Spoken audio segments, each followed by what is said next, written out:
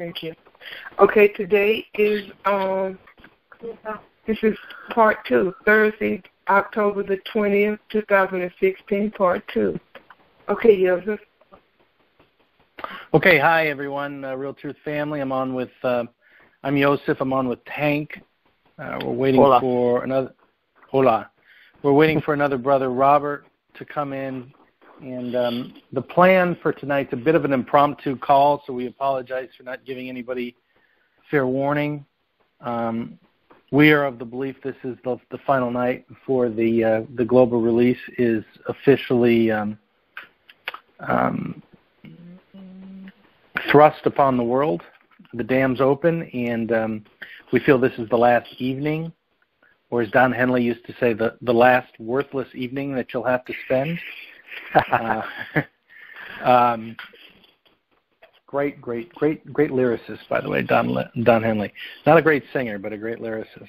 Um, and uh, and and we have uh, a lot of information. Uh, there was a sit rep that came out on Dinar Chronicles that Tank and I helped contribute to, along with uh, Bruce and and uh, Robert, who you'll hear. There's there's an intel group of about ten guys that kind of uh, either through us or, or through third parties, we kind of all c- accumulate these sit reps uh, and these updates so that um, we can try and get our arms around where the where the ball is bouncing. Uh, Bruce said tonight on his call that there were as many as nine uh, failed attempts within the last few days. Um, we think there is, have been as many as one a day, uh, maybe dozens uh, within the month of October, and I'm saying multiple dozens to get this started.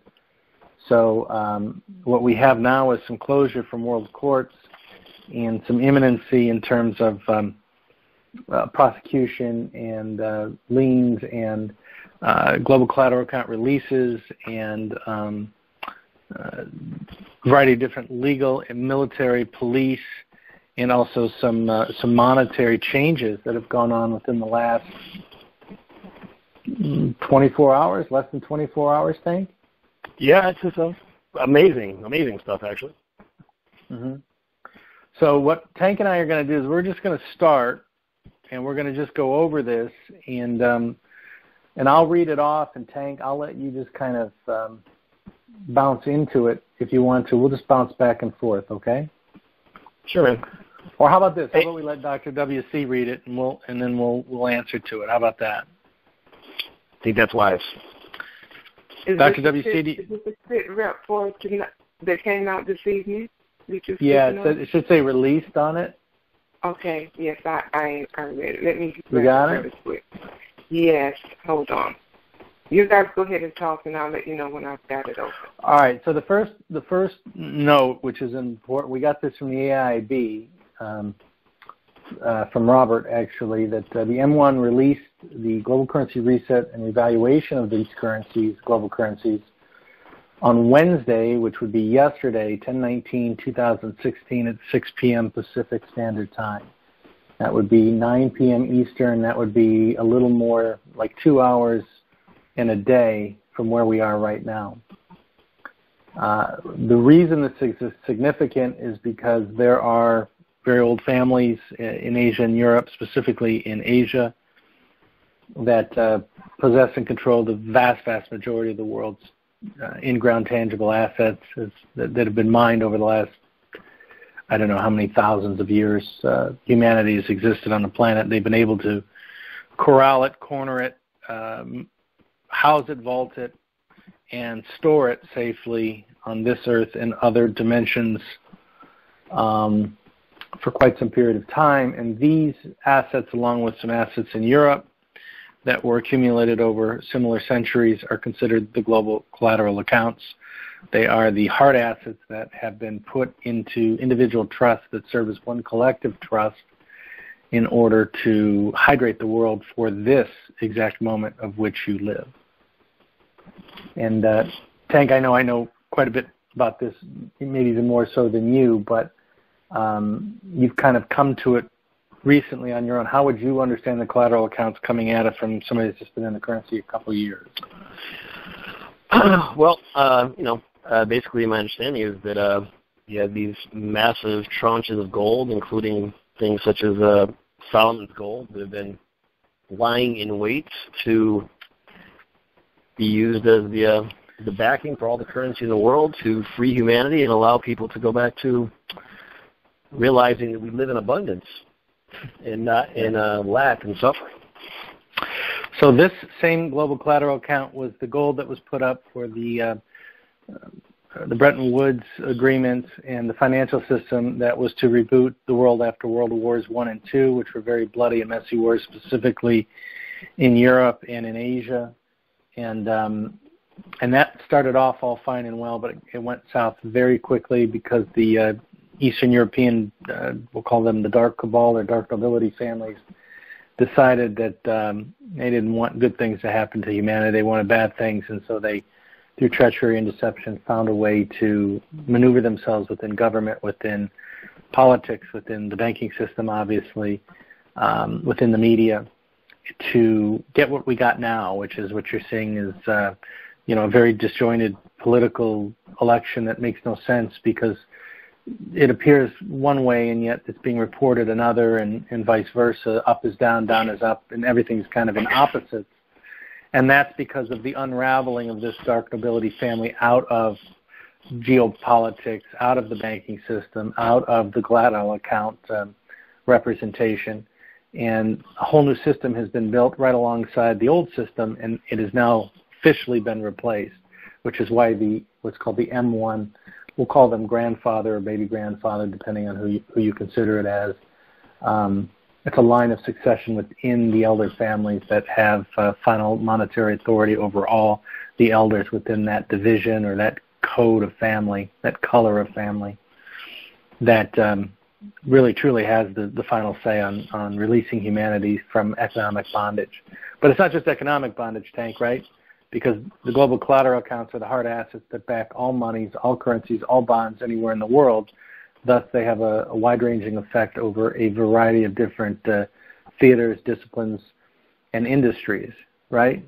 Military, yeah. entertainment, media. Absolutely. You know, um, Hayden and I talk about this a lot because you know he really has a great vision for. I think that one of the things we'll be charged to do um, is to really change the way you know communication exists and change the way industries operate and um, change the way that success is measured based on you know based on our ability to do so. You know, it's so it is financial, but it kind of changes the focus to be off money and beyond impact.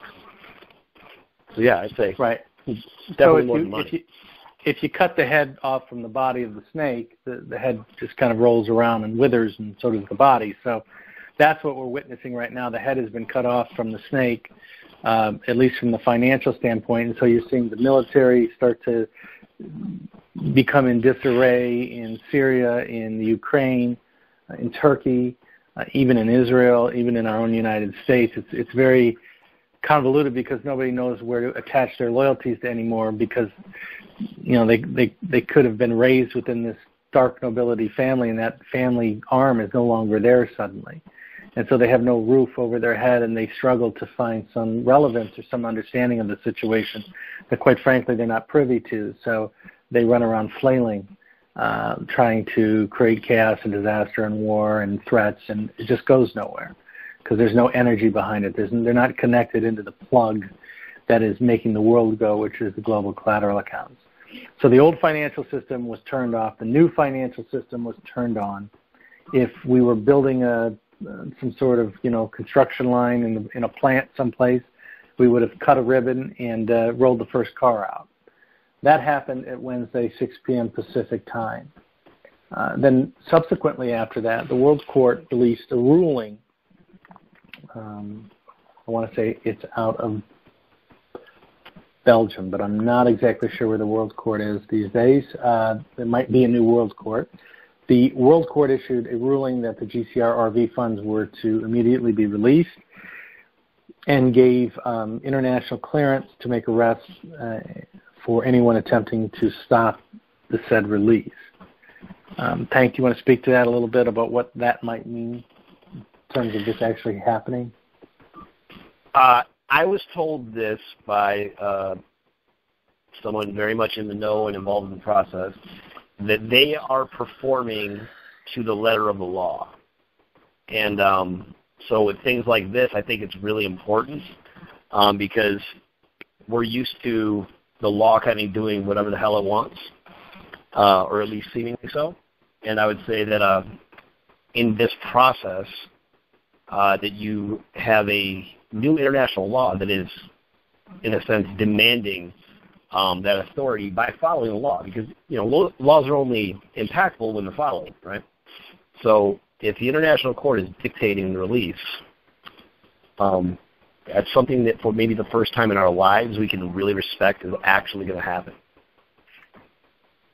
Right, and whatever was good, bad, or different about the World Court, um, it has since been reformed too, just like the Bank of International Settlements, just like the IMF, just like the Federal Reserve, uh, just like the United States government. Um, a lot of these international institutions had to be reformed before some of these massive changes could not only be introduced but be sustained. Um, and the World Court, I know, to be one of them. Then, um, after the World Court made the release that there had to be performance on the part of every nation, they also issued an injunction that globally elections were to be halted um, so that NESARA could be brought forward. Now, a lot of people don't know what NESARA is, the National um, um, Economic Stabilization and, and Revitalization um, Act, National Economic, Economic Stabilization. Security? Sta- it's stabilization no, security? No, National Economic Security and Revitalization Act, NESARA. And GESARA would be the Global Economic Security and Revitalization Act or Reconstruction Act. So um, excuse my acronyms. Um, it's, it's restoration. Restoration. Uh, restoration, right?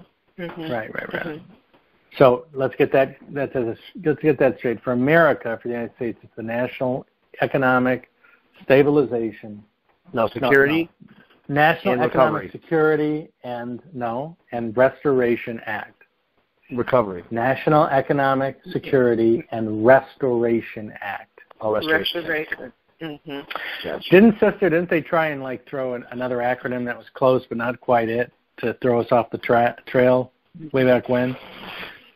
I remember that. I think that's where I got caught off. And GESARA, G-E-S-A-R-A, all capitals, is an acronym for Global Economic uh, Security and Restoration Act.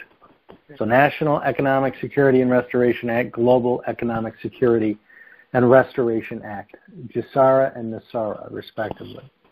Uh, World Court issued an injunction that uh, elections had to be stopped in order to be in accordance in, a, in um, proper alignment with GESARA and NESARA, which would basically throw out the United States election. So the announcement tank that we were looking for from Obama actually came from the World Court. Oh, oh that's that makes a We lot of sense. we were looking this evening for an announcement to um, basically recuse uh, and suspend the elections. Uh, that I'm sure nobody was very disappointed about uh, uh, here in the United States because ultimately what you had is a, you had a not only a transfer of money in the world and power shifting from one economic body to the next permanently, but you also had a transition of governments also being forced to switch over, and it wasn't just the United States; it was many governments um, that now had to act in accordance with uh, the, the treaties, not only of and in this country NESARA, but also of the uh, 2015 Paris Agreement on climate change, which dealt with both uh, environmental issues and economics, specifically the gold standard. So um, it was a very historic ruling. Um, however, the oh, I'm getting a National Economic Security and, and Reformation Act. okay, thank you, Pua. All right, so we have It's not Reformation because It's not. the no, because the cabal tried to put that false one out there for Reformation, and Right. it is it is not Reformation. It's restoration because they're restoring us back to our formal um, um, wealth that we were supposed to have. Reformation is where they tried to reform what they were doing. So it is not Mm. Reformation. It's restoration. Okay. National Economic Security and Restoration Act. Correct. Oh, and okay. All right. Well, we'll we'll get into that poo at another time. Let's move on. Okay, we got a lot to cover. So um, we have uh, basically an international legal body that we know has some additional help, higher mind kind of help, uh, governing the process step by step. And, and Tank, what we were getting tonight and all day was little things were popping out all day long, and then we got this in the afternoon, and we're thinking, wow, Obama's going to make the announcement because we know he has to resign, and because there cannot be two presidents of one country, and Obama's presidency is illegitimate based on the new laws. Uh, no different than an old software system no longer functions on the same phone when you switch over. You can't use both. You have to use one or the other. So we've switched right. political and economic software uh, over to new systems, and we've made different choices. And um, and and we got that one after the other today. So it was our understanding that there was going to be an announcement about um, the elections being transferred or switched um, or suspended. Uh, in this case, in our case, and uh, we still may get that in a different form. It's my understanding, Tank, that the House of Representatives can vote actually to suspend the election. That is my understanding of it as well, and there's a couple different ways that it could play out. But um, you know, I'm not sure exactly how it's going to execute. I was going to ask you about it because um, essentially, you know, it's like it's a brand new government in place, and I know they want to make this a very um, peaceful transition of power, right? So I just wonder how they're going to do it without introducing too much shock to the public. So I'll be really interested to see how that plays out. And I don't know exactly. How do you rip How do you rip off the band-aid and not cause any blood? Is that what you're saying? yes, absolutely. Yeah, because basically we're getting the band-aid ripped off right now as we're sitting here talking I think the way to do that is hot water, right? You just pour sure. hot water as you're taking it off, take some of the sting away. So um, what what we're getting is uh, we're getting a piecemeal kind of NESARA enactment. One by one, little by little, we're starting to see it unfold. They're not calling it NESARA. They're not calling the 2015 uh, uh, Paris Agreement on Climate Change the gold standard. But what they're doing is they're slowly, piece by piece, building it like Legos, one on top of the other, on top of the other, on top of the other, until at the end of it, you've got this mountain of magnificence and you have change. And nobody really notices because it didn't come too hard too fast. So one of the things that we saw today, for instance, the WikiLeaks we know is, we know is somehow part of this, right? It's soft disclosure of a variety of things. The USA Inc. dark cabal, the uh, uh, presence of, of, alien technology and alien assistance and species on our planet through Podesta's emails. It is the announcement of the Clinton Foundation um, um, theft and and debauchery. It is uh, a variety of different Hillary situations. Obviously, take your pick: Benghazi and State Department emails and lesbian love affairs or just the list goes on and on and on, right? But one thing that it did today, which I thought was interesting, Tank, is they introduced Obama into the mix of being knowing that he was delivering emails to Hillary on a on a private server, and uh, and knowing uh, that a lot of the classified information that he was sending back and forth was not authorized to go on that email server and that private mobile device including giving his home address and things like that.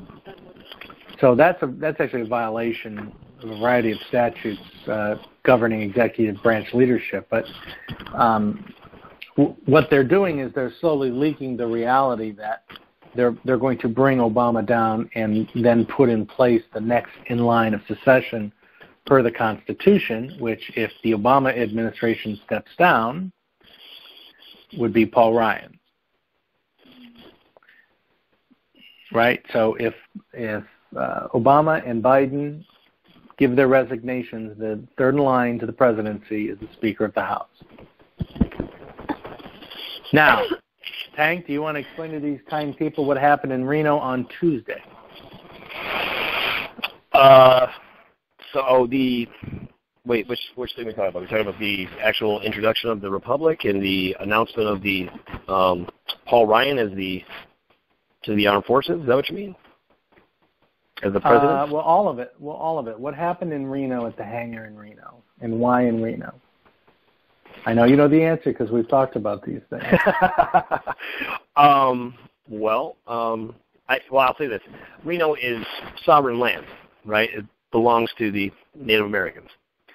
So um, there's about five as, tribes that all kind of lay claim to the whole state of Nevada, actually, that centers and focal points around Reno. Mm-hmm. Right. Go ahead. So the republic essentially came to power um, fully and officially, and um, that is something that has since been announced to the uh, rank and file of the military that Paul Ryan is officially the interim uh, president of the Republic of the United States.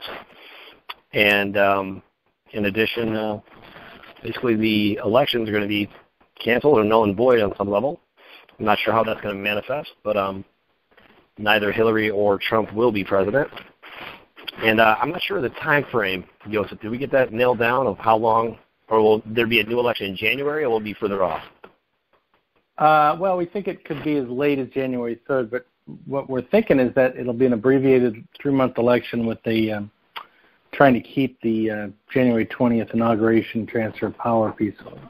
That's what we think. Um,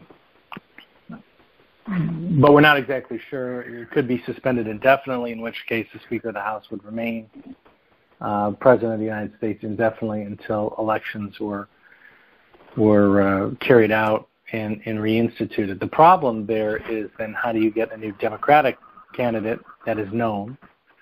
How do you make it fair? How do you introduce the third party and fourth party candidates and fifth party candidates so it's fair? How do you not let this money that's coming into the system through the currency redemptions influence the elections uh, unjustly, unfairly, right? So it's weird. It's it's I don't exactly understand. I have a lot of theories on it, but nothing that I would like you know put my my reputation on. Um, I do know that Paul Ryan was sworn in as president. I do know that Paul Ryan has actually been acting in conjunction with Dunford for ever since he was sworn in in um, September uh, of 2000 or actually it was October of 2015, when the Pope, part of the Pope's amnesty agreement was to release the United States and all of its corporations, uh, as well as the Vatican assets and Vatican Bank, back to the world. And what happened then was Boehner was suddenly asked to step down, and he did. And Obama and Biden actually resigned at that time as well, and have been keeping up front since then. So so Obama and Biden's resignation already exists. Okay? They actually already have their taped speeches in place that they can run at any time through emergency broadcast. Just so you know. so we're not we're not making this up. We're, we're we're telling you what's coming and just trying to get your mind around it so you can help others, you know, ease through the fear of it all. Um, I mean, it's a, I don't want to say it's a coup d'etat because the country was overrun in the first place in a coup d'etat, and a silent, slow, steady coup d'etat. So this is really just the restoration of the republic as it was intended per the Constitution. And and that is basically what we're witnessing. And what's interesting is, you know, you have so okay, we've cho- we've chosen the the. Can we stop that noise? Whoever's making it. The, Tank, is that you, buddy? Who is that? I. Sorry about that. Okay. Um, Whoever is, uh, you know, deciding that we are moving to a new government or a new currency or a new president, you can't have old currency and a new government. You can't have new government and an old currency. You, know what I mean? You can't have an old president to a new currency and a new government. You, you've got to have new, new, new, and new. So we're going to leave the old fiat dollar. We're going to leave the old cabal structure of government. We're going to leave Obama and Biden, that administration. And we're going to have to move to new USNs, which were loaded into banks today from the Federal Reserve, okay, which, by the way, the Federal Reserve has been getting quintillions of dollars into all 12 different Federal Reserves scattered throughout the country for the last week. So they've been getting an enormous amount of liquidity pumped into their system to handle us and handle the banks and all the needs moving forward, um, which is another sign that we're going, you know, quickly here.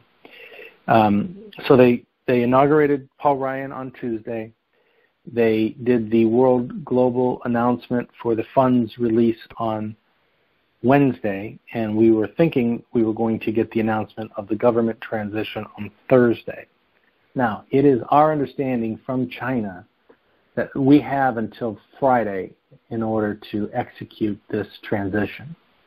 And now the rulings come down from the World Court, it would only make sense that this is a real thing.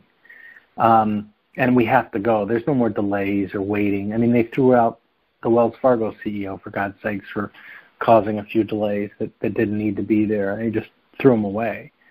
Um, he's lucky he's not in jail. Actually, he gave up 109 other bankers and diplomats and and uh, and uh, politicians that were part of the cabal and holding things up in order to get his amnesty.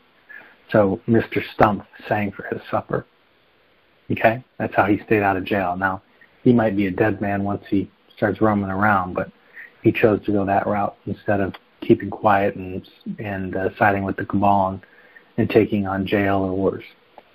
So torture, actually, he probably would have got torture. Who's to say he didn't? Remember his hand?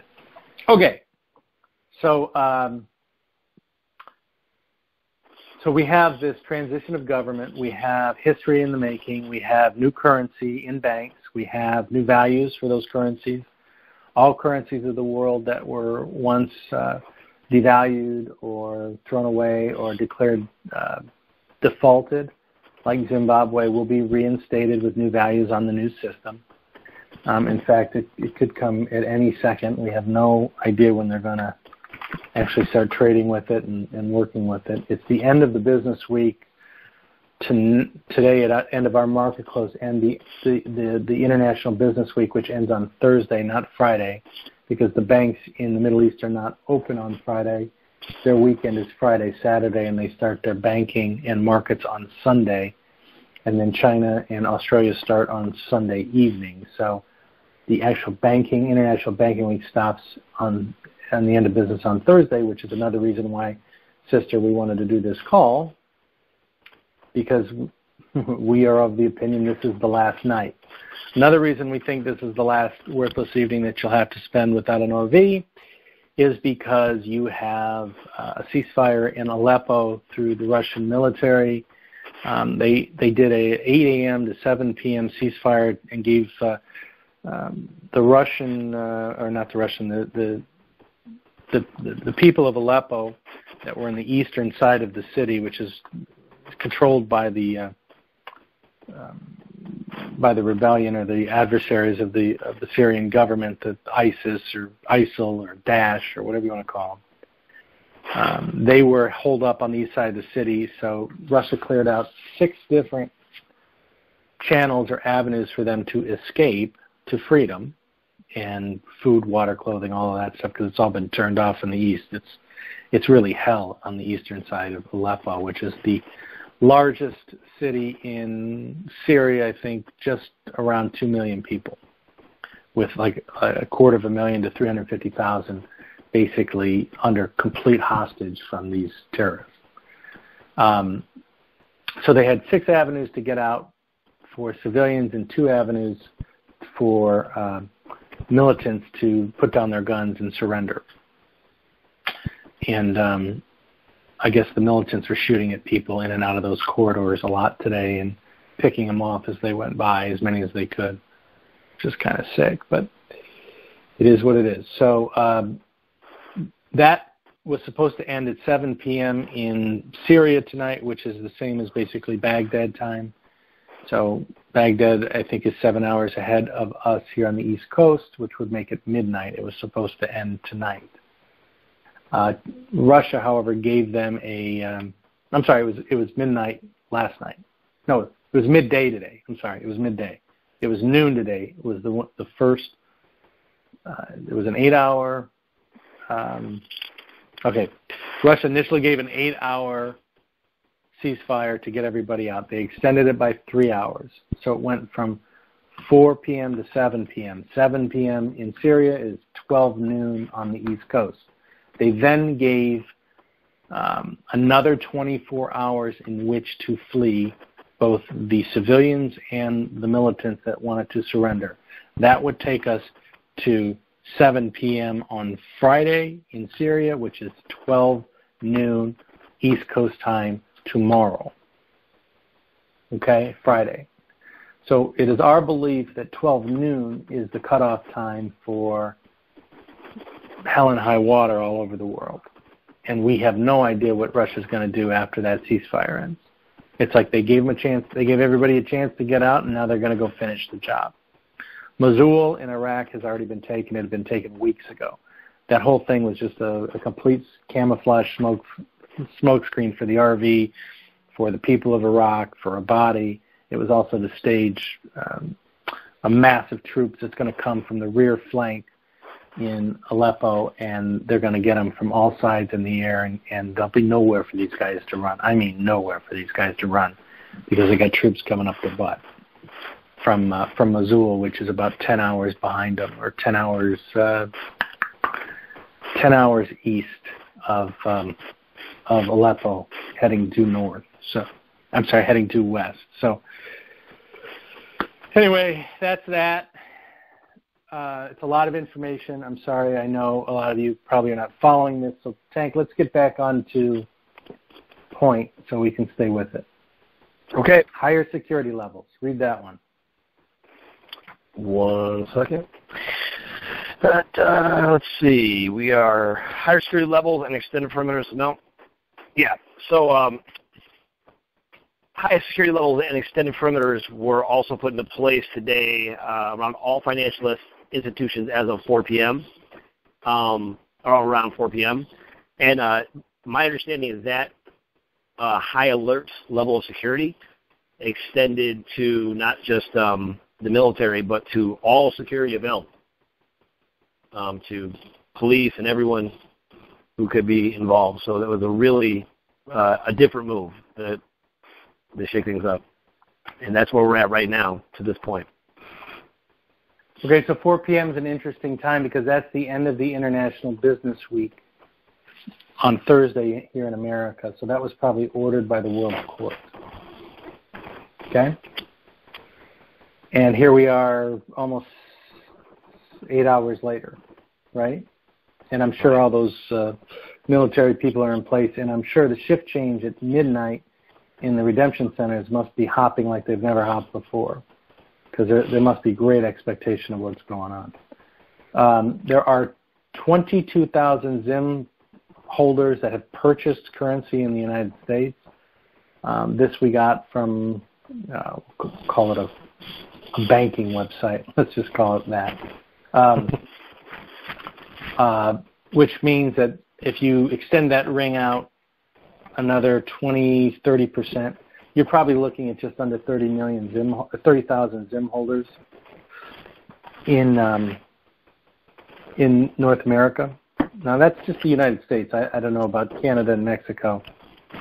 It's illegal to hold foreign currency in Mexico, so I'm not exactly sure how they're going to do that, but um, but uh, and I'm sure Canada from these types of calls has their own share of uh, Zim holders. But if you're talking about 30,000 net net within the first, you know, 72 to, to 96 hours, um, I think you're it's a pretty safe bet you, they'll be able to get most people processed in a very short period of time given that uh, there's a lot of Zim exchanges that are just exclusively made for people that hold Zim because of its value.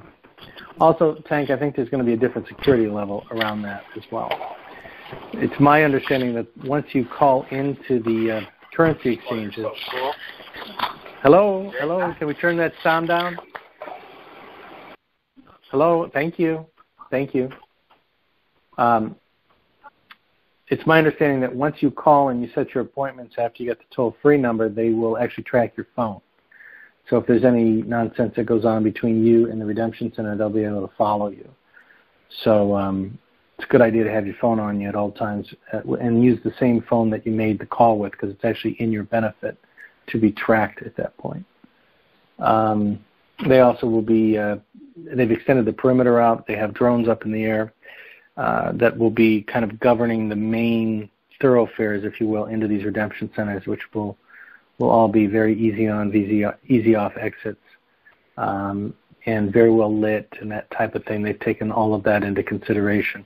They also have plainclothes, um, I don't call them police, but we'll call them special forces that are lining the highways um, that are monitoring things and basically standing guard without you even know they exist. They might be sitting at a Starbucks, you know, watching people come in and out of exchange centers or off the freeways, or they might look like they're changing a tire on the road. It'll actually be special forces, you know, making sure that everything's going uh, according to Hoyle. And then once you get on the exchange site, they actually will uh, videotape your license plate and take a digital check of that and then run your plates just in case there's an issue with your priors. And they will um, make sure that you are who you say you are and that you do have an appointment at that time. They probably wouldn't even let you in the door um, if there was a problem. So that's how up to date on it they are. It's kind of like when you go across the border and they scan your license plate while you're sitting there talking to the guard. And then the guard says it's okay, you know, that license plate clears, you can release them same kind of technology. So this is really thorough stuff, guys, and they will track you. My understanding is they're going to put a little GPS sticker or magnet in under your uh, wheel well too, and they will track you home just as they track you here with your phone. So they've got eyes on you from the time that you um, you call in to the time that you get home, and they want to make sure that you have a full round trip completion. Okay. I know, probably way too much information. Security guys hate me, but you know what? Um, you didn't tell us anything, and you basically kept everything from us, and I don't know that that's moral either. So I'm just balancing out the great equation of life. Um, Tank, you want to go over the rates and give them the new Zim rate? Yes, I do, actually. Hang on one second. So right now we have the Zim at 7800, the IQD. No, no, no, no, no, no, no. Oh, the no, new ones no, from. no, oh, sorry, sorry, sorry, sorry. You're on the wrong. All right, I'm going to read them, Tank. I've got the Zim at 8125. I've got the IQD at 221. The IRR, which is the Rial, at 221. The IQD and the Inter- Iranian Rial have come into the same parity, um, which is interesting because that it tells you that Iran is basically running things now, not Iraq. They share the same oil supplies, so because Iran has the larger military, larger land base, they have a lot more minerals in their mountains. Uh, I know Iraq is a very wealthy area because of the water and all of the different minerals that come off of the silt of the water over time. But I think just from a partnership perspective, Iran was a lot more uh, attractive to China and Russia moving forward because of their strength in the region, their education, um, and they had a very moral core, even though they are very tough on people that commit crimes. Um, uh, they they have a uh, a very well established and controllable society where Iraq is basically, you know, shoot them up at the wild wild west because they've had 10 years post Saddam of insanity and uh, you know who whoever was paying the most money, you know, got people's allegiance and, and created a lot of bad situations. So Zim 8125, IQD, which is the dinar, is 221. IRR, which is the Iranian rial, 221. Uh, the VND, which is the Vietnamese dong, is 128. The IDR, which is the Indonesia rupiah, is 102, and the Afghani, I think we've had it 1050. It hasn't moved much either way. So um, if you bought the Afghani, enjoy yourself. It's uh, it's pretty down there on the totem pole. Um, these are all first basket currencies. They will all be redeemed at their printed face values, uh, which is why the Zim is so spectacular and is the rock star of the RV because uh, obviously it has the highest rates by a whole extra digit, but it also um, has clearly the highest face values. I think the highest face value on the Afghani is 100,000. highest face value on the Indonesian rupee is 100,000. The VND, the highest face value is 500,000. The um, Iranian rial highest face value, I think, is 100,000. IQD is 25,000. And the ZIM highest face value is 100 trillion. With the highest, uh, you know, redemption rate by far. So that's why the ZIM is unusual, to say the least. Redemption rates will vary uh, with individual humanitarian and job creation aspirations. So, depending on the depth and scope and preparation of your materials, um, it will sway those Abbott Downing and Wells Fargo uh, uh, teams that are governing your redemption appointment to determine really what you can handle um, and assign a rate to it. Uh, in terms of liquidity and NDAs and what has to be put for job uh, creation and humanitarian programs versus your own private wealth, that's all negotiable. So I would feel free to bring up anything. Yes, Tank. Hey, Joseph, well, you want to talk about that a little bit, man? I think that's really important for people, you know, going into this um, to kind of understand, you know, how not necessarily that anyone's going to be suddenly coached into a perfect presenter right now, but maybe you want to talk about that a little bit. Uh, you know, I think even you might want to talk about what you're doing. Well, what I'm doing, Tank, is 10 years of experience and having gone through international compliance and paid my own money to do that. You know, I mean, it's not the same. So no, no, no. I, that's not what I mean. I, I just mean the no, I just mean the simplicity of you know how you simplified your presentation is what I meant. Well, I didn't yeah. actually. I actually I actually ratcheted it up, but I understand what you're saying. So, what they're talking about is bring a one to two page, tops five page synopsis of what you want to do, have it printed out, have it bounded in some way, shape, or form that looks halfway professional. Maybe bring a bio of yourself, um, and present yourself like you would not a job interview, but um, but just you know they need to know who you are in a very short period of time, and getting your materials together in a very concise, easy to read, understandable, thumb note summary kind of way is helpful to to the people you're on the other side of the table with. That that starts the interaction off right because it shows that you're ready and you're prepared. And if you know the rates, like you know the rates, everybody in this call, you you not only know the rates, but you also have know your client information, which they're going to make Xerox copies of, um, and put on file, right? So that they, they have to justify who they gave what in terms of the numbers, and then be responsible for their decisions, just like you'll have to be responsible for your decisions. So um, it's just common courtesy to be prepared when you go into a business meeting. And um, you know, people have made a lot of drama over all of this. Listen, this is everybody's been in an interview. Everybody's been to some sort of formal meeting. You know, unless you're 18 years old and you got gifted currency or you bought it on your lunch break, you know, at McDonald's.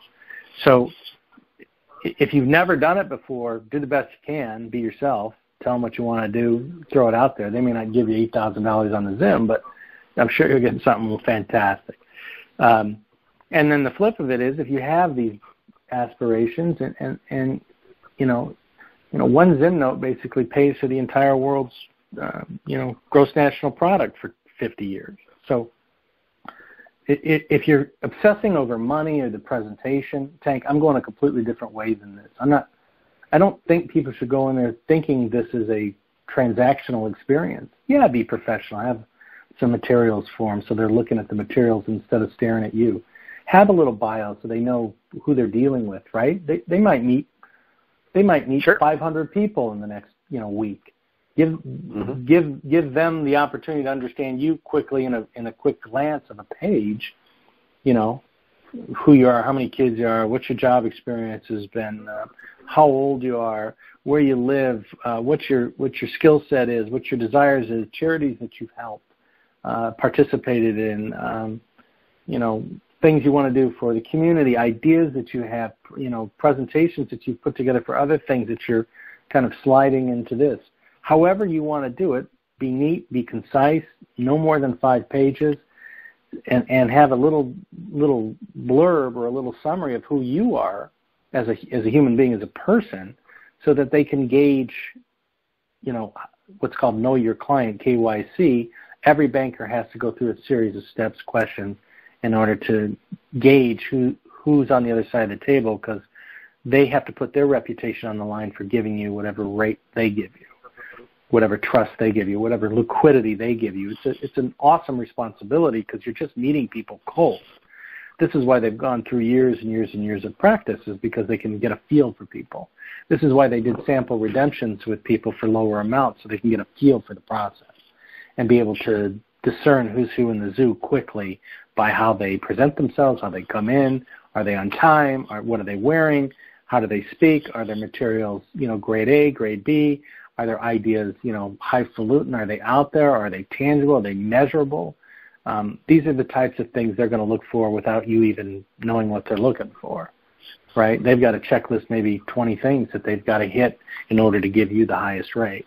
So if you're not prepared for that already, Tank, there's no preparation for that. You're best off just to just to bring in whatever you got and as clean and presentable as you got. Be honest, speak from the heart, but also don't get too focused in the zeros. Don't get too focused on maximizing the event financially. Because if you have one Zim note, you've maximized the event. Congratulations, right? And right. if you ha- if you ha- if you have you know 10 million to 100 million dong or dinar, you've maximized the event. Congratulations, you've taken generations of your family out of poverty. But but m- more so, look to accomplish something going in. When you started this, what were you looking to accomplish? What was it? Was it was it a, a, community center? Was it to fix your city? Was it to fix your country? Was it to solve homelessness? Was it hunger? Was it uh, housing for the poor? Was it food supply? Was it uh, reformation of uh, the school systems? Like, why did you go in? Why did you start this process? Why did you listen to these freaking calls and look at all these emails and lose your eyesight? Why? and be honest with that so that when you come forward and you talk to somebody, you're speaking from the depth of your your wind, right? You're speaking from your lungs, you're speaking from your heart instead of the, the, the, the top air of your mouth, right? They'll look right. to see if you're really engaged in what you're saying versus you're just throwing out a spiel. And if you're really engaged and you're really passionate about it, they'll get that and they'll want to help you. And and you'll tell them, "Look, I need help here. I need you to help me get to this spot because when I leave here after this 2 hours of heaven on earth and heaven down from manna and and God's prophecy fulfilled, when I leave here, I need to accomplish that for them. And so I need a partner that's going to help me help the homeless. I need a partner that's going to help me help Cleveland. I need a partner that's going to help me fix Haiti. I need a partner that's going to help me fix Nova Scotia, Vancouver, Calgary, Native American Indians. Uh, I need a partner that's going to help uh, the indigenous peoples in Australia and New Zealand. That's who I need. Can you be that for me? And put it on them versus them looking at you saying, What rate should I give you? Say, I need a partner to do this. And if you come from an honest, sincere place, Tank, they'll they'll go over backwards and they'll stretch on their rates regardless of what your presentation says. You know what I mean? I think that's great advice, actually. Yeah, I think this whole thing. Uh, one, that's kind of what I wanted you to talk to is. I don't think anyone needs to be stressed out to try to do something they're not. Um, I know people have been telling me, like, you know, I'm going in with, you know, a hundred different charities I'm going to donate to. Well, I don't know if that's going to get you exactly what you're looking for because that's not maybe not where they want to put their money. But I think there's a difference between speaking the truth and being the truth speaking.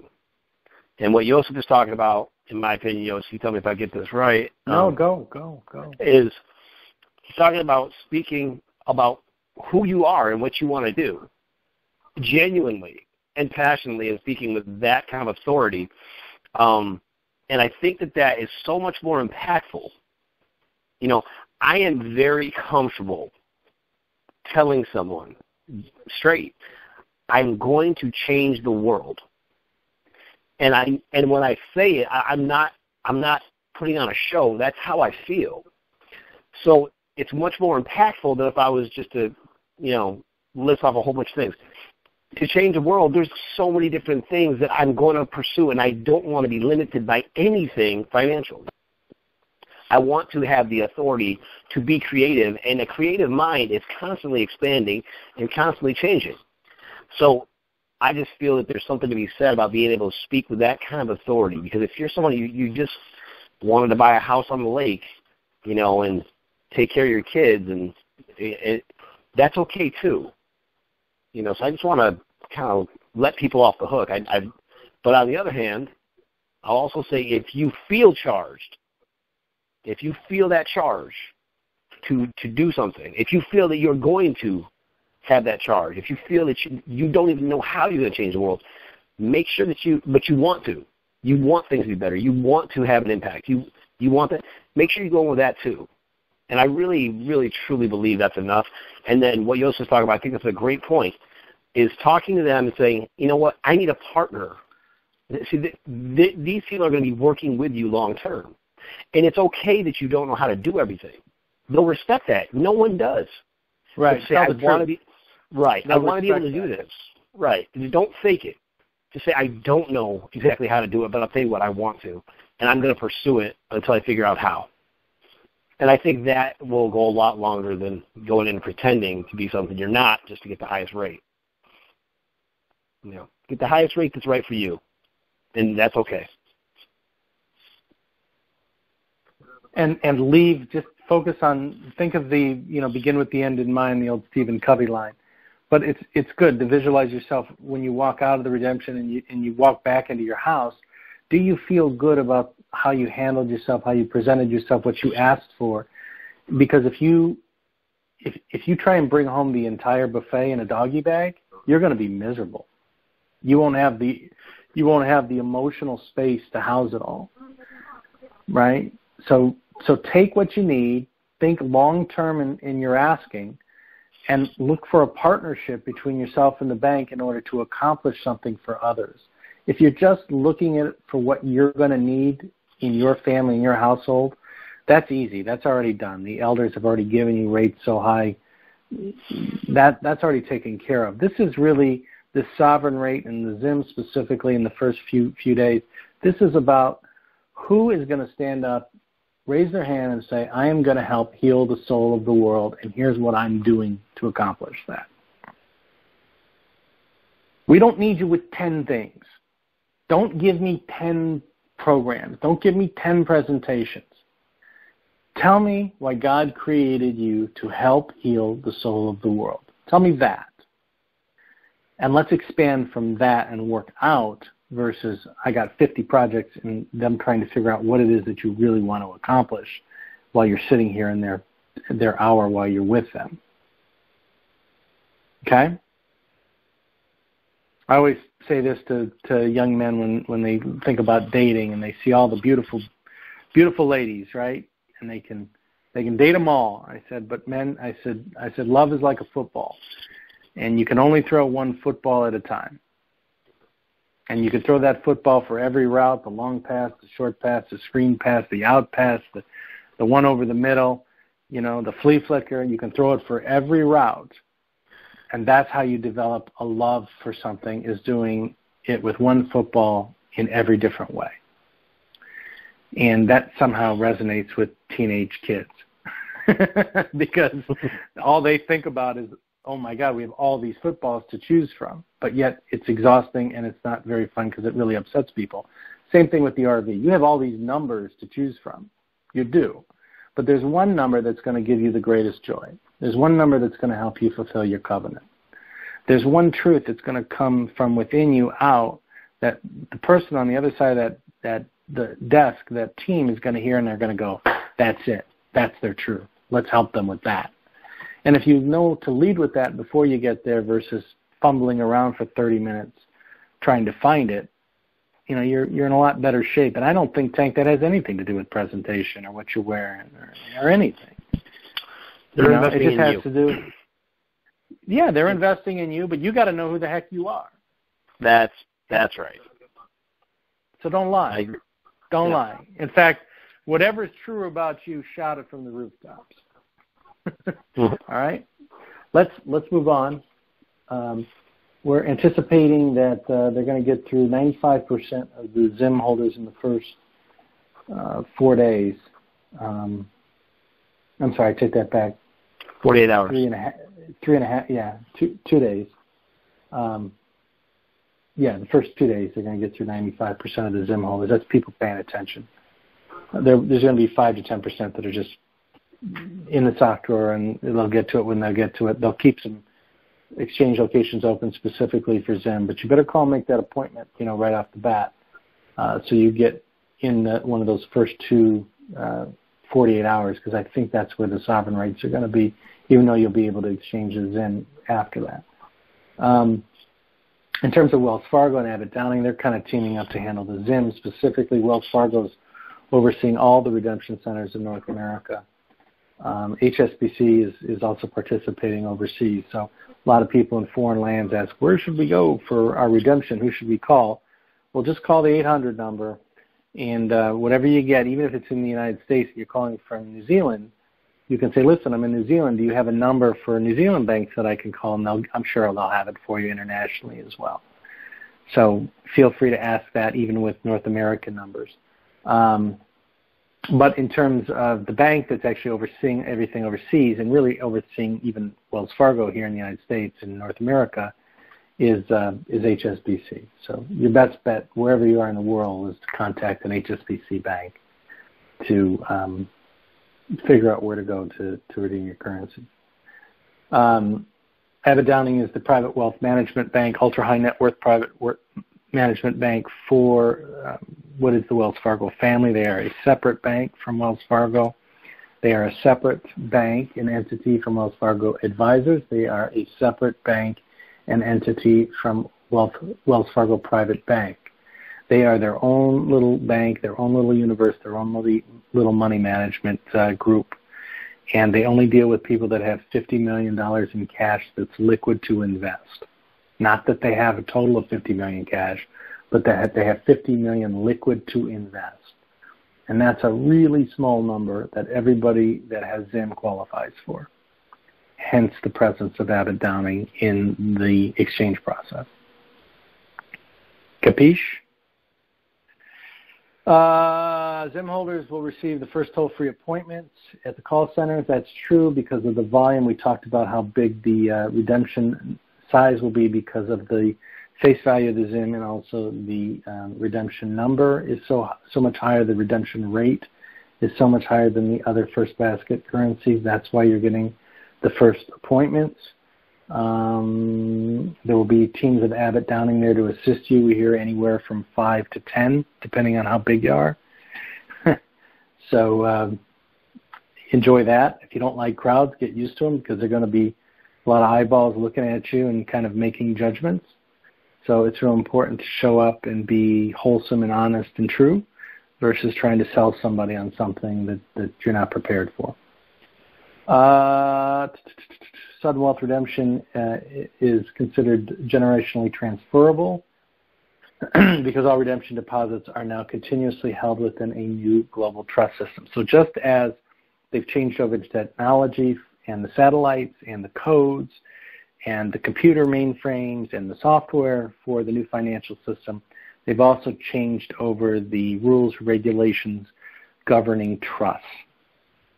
The trust system was created by the very wealthy here in this country in order to hide their assets from the world and not have to pay any taxes. In 1969, that changed.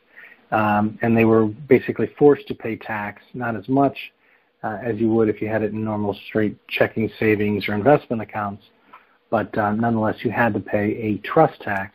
And when you died, the kicker was 50% of that went back to the, to the government. So if you didn't have proper management, you got kind of screwed, or if you died alone, or if you didn't have a trustee or somebody to will it to, in essence, it goes back to the house. Um, that's how they set it up for their their own benefit.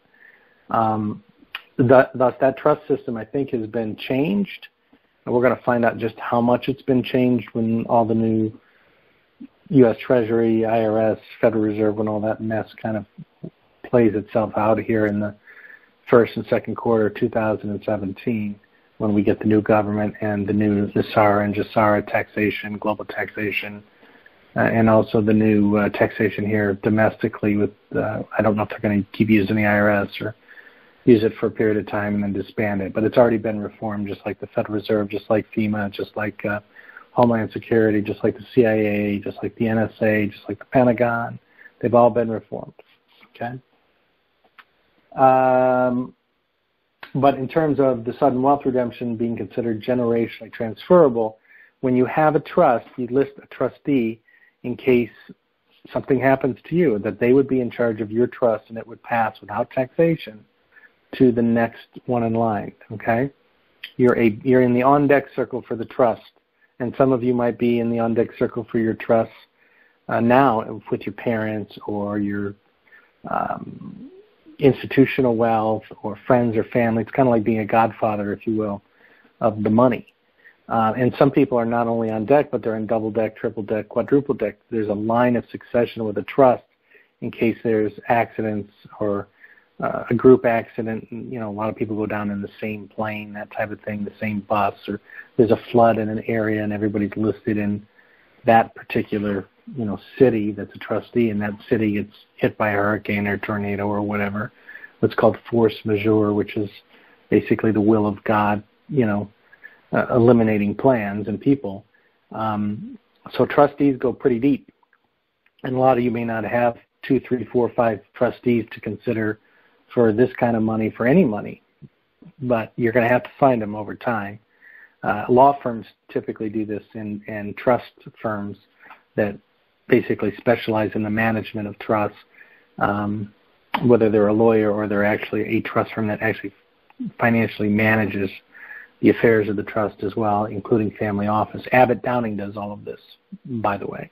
They will actually become the trustee of your trust should anything happen to you and you don't have somebody behind you, and they'll inform you of that when you're there. But that's not just Abbott Downing. That's that's any private bank. That's any trust company. Uh, any law firm can do that for you as well. Any accounting firm can do it for you. Um, so don't don't feel you're alone if you really don't have a next of kin or a sibling or a spouse that you can trust, or that even believes in you. you know, half of our spouses don't believe in us, and um, and they really wouldn't be good good representatives of this wealth should something happen to any of us because they're just not in the vibration of what's going on. So you uh, have to think about succession, just like you know, Obama goes down, Biden goes down, Ryan steps up, he's third in command as Speaker of the House. Same thing with the trust. If you go down, if your second in line goes down, you got to think about three, four, five, six, seven. I think the presidency goes about 12 names out, goes all the way down through the cabinet for the United States. So, um, so you'll have to think about trust. But the good thing is it will be it will be transferable, which means whatever you sign up for at your redemption appointment, your trustee will get. It will pass tax free, and they will be able to manage it just as you managed it should anything uh, happen to you. So that's good. A lot of people were worried that it's only good for while we're alive, and that's not the case. Uh, the other thing, um, too, was that um, the entire trust system, which holds a vast, vast majority of the world's wealth now, I would say 90% to, or more, um, is also um, going to hold the same amount of wealth in the future because of the new system. However, because it's a new trust system, all of the accounts in the trust system will be backed by the full weight and collateral of the global debt facility or the global collateral accounts that we talked about at the top of the show. And thus, you'll have 100% uh, insurance. Now, if you want to buy reinsurance, you can. I don't know that it's necessary, but a lot of people will want to buy reinsurance just because they're trained to. Um, and I think you can get that through Lloyd's of London, um, uh, trying to think what some of the others are. But um, those are the two biggies for reinsurance. Aon um, is one. Um, I don't know what they go up to their limits, but anyway, there's a there's a there's a, a wide variety of insurance projects if you want because um, the global collateral accounts will be basically guaranteeing 100% of your deposit, which is super duper cool. Uh, so Tank, our money safe, short, and long. So what should we be focused on when we're in the redemption?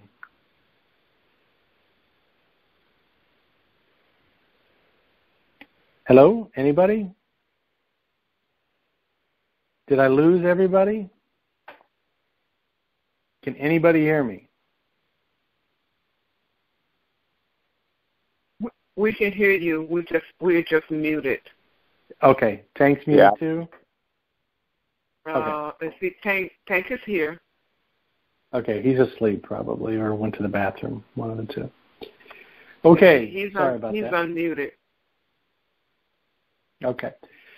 So, uh, so your money is safe short and long, uh, which is great. Uh, they thought that through. Obviously, there's going to be a question by a lot of people when they went in for the redemption. Um, so, as part of this negotiated amnesty packet on behalf of the U.S., Inc., President and Vice President, and Speaker of the House, they all had to resign, just like Boehner did uh, in September when the Pope was in town. And Ryan was installed as the third in line of succession to the presidency as the new Speaker of the House. Uh, Obama and Biden, uh, we understand, have not only signed their resignations, it's been taped, and they've already done their taped recording announcement. So I don't even know that they need to be present when this runs. Um, once that runs, it's over for them. So uh, up until now, they've been allowed to keep the facade up, but they've been kind of out of uh, running the country for quite quite some time. Um, now, I'm not I'm not saying I'm a Democrat or Republican. You may not like Paul Ryan. You, you may want a Democrat in there. Uh, you know, you may want a shot at an election. I still think they're going to give an election opportunity to the people. I just think that the way that they've set it up is they wanted somebody that they could trust, that they felt comfortable with, that was competent in terms of the the policies of the country that needed to be uh, healed, fixed, restored, uh, certainly rewritten from the old shadow government uh, lobbyists that basically worked it to the advantage of a very small group of people and open it back up again. Now, Paul Ryan's tried to do this with what's called a better way. Uh, you can check it out on his website, uh, speakerofthehouse.gov and it'll say a better way, and it's got all these different things that he's going to do for poverty and the economy and taxes and the reformation of government and uh, Obamacare and all this stuff. So that's his plan and, and policy that he, he wants to institute should he be elected president. Um, I do think there's going to be election. I do think it's going to be suspended. I do think that they're going to limit campaign contributions uh, so that this RV money doesn't affect the new election. Um, I do think uh, the Clintons did not take the amnesty, and they are going to be tried. I'm not sure about the Bushes. Uh, I do think that a lot of the politicians that were in office and completely corrupted will resign, um, and new ones will be immediately put into place. So there'll be snap elections um, uh, in those districts as well, and the John McCain's of the world, the Lindsey Grahams, those types of uh, the Harry Rockefeller's. Uh, I'm sorry, did I say Harry Rockefeller? I meant I meant Harry Reid. He's actually a Rockefeller. Do you know Ch- Chevy Chase is a Rockefeller? Do you know Paul Simon's a Rockefeller? Did you know Edward Norton's a Rockefeller? No, that one Obviously, I didn't know. Bill Clinton's a Rockefeller. Yeah. Mm-hmm. Actually, Edward Norton is the grandchild of Warren Buffett.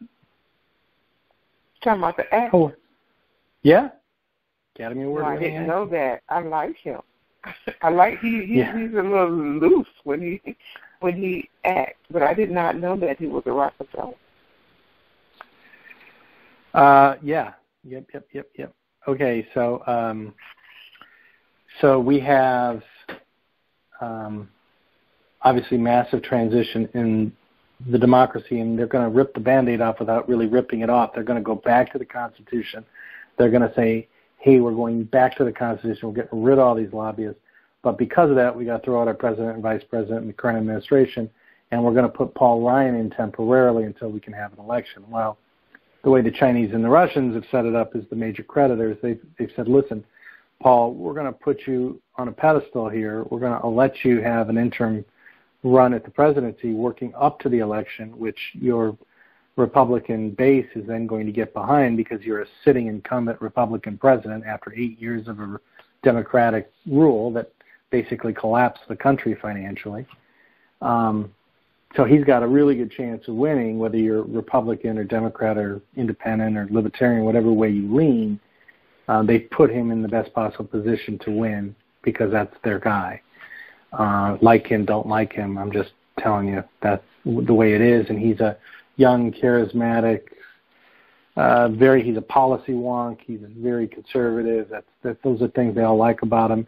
And if he were to be president for the next eight years, um, you know that would be a good legacy to get the country moving in the right direction. They did the same thing in Canada with Justin Trudeau. Like him, don't like him. Young, you know, policy knew his policy from his family.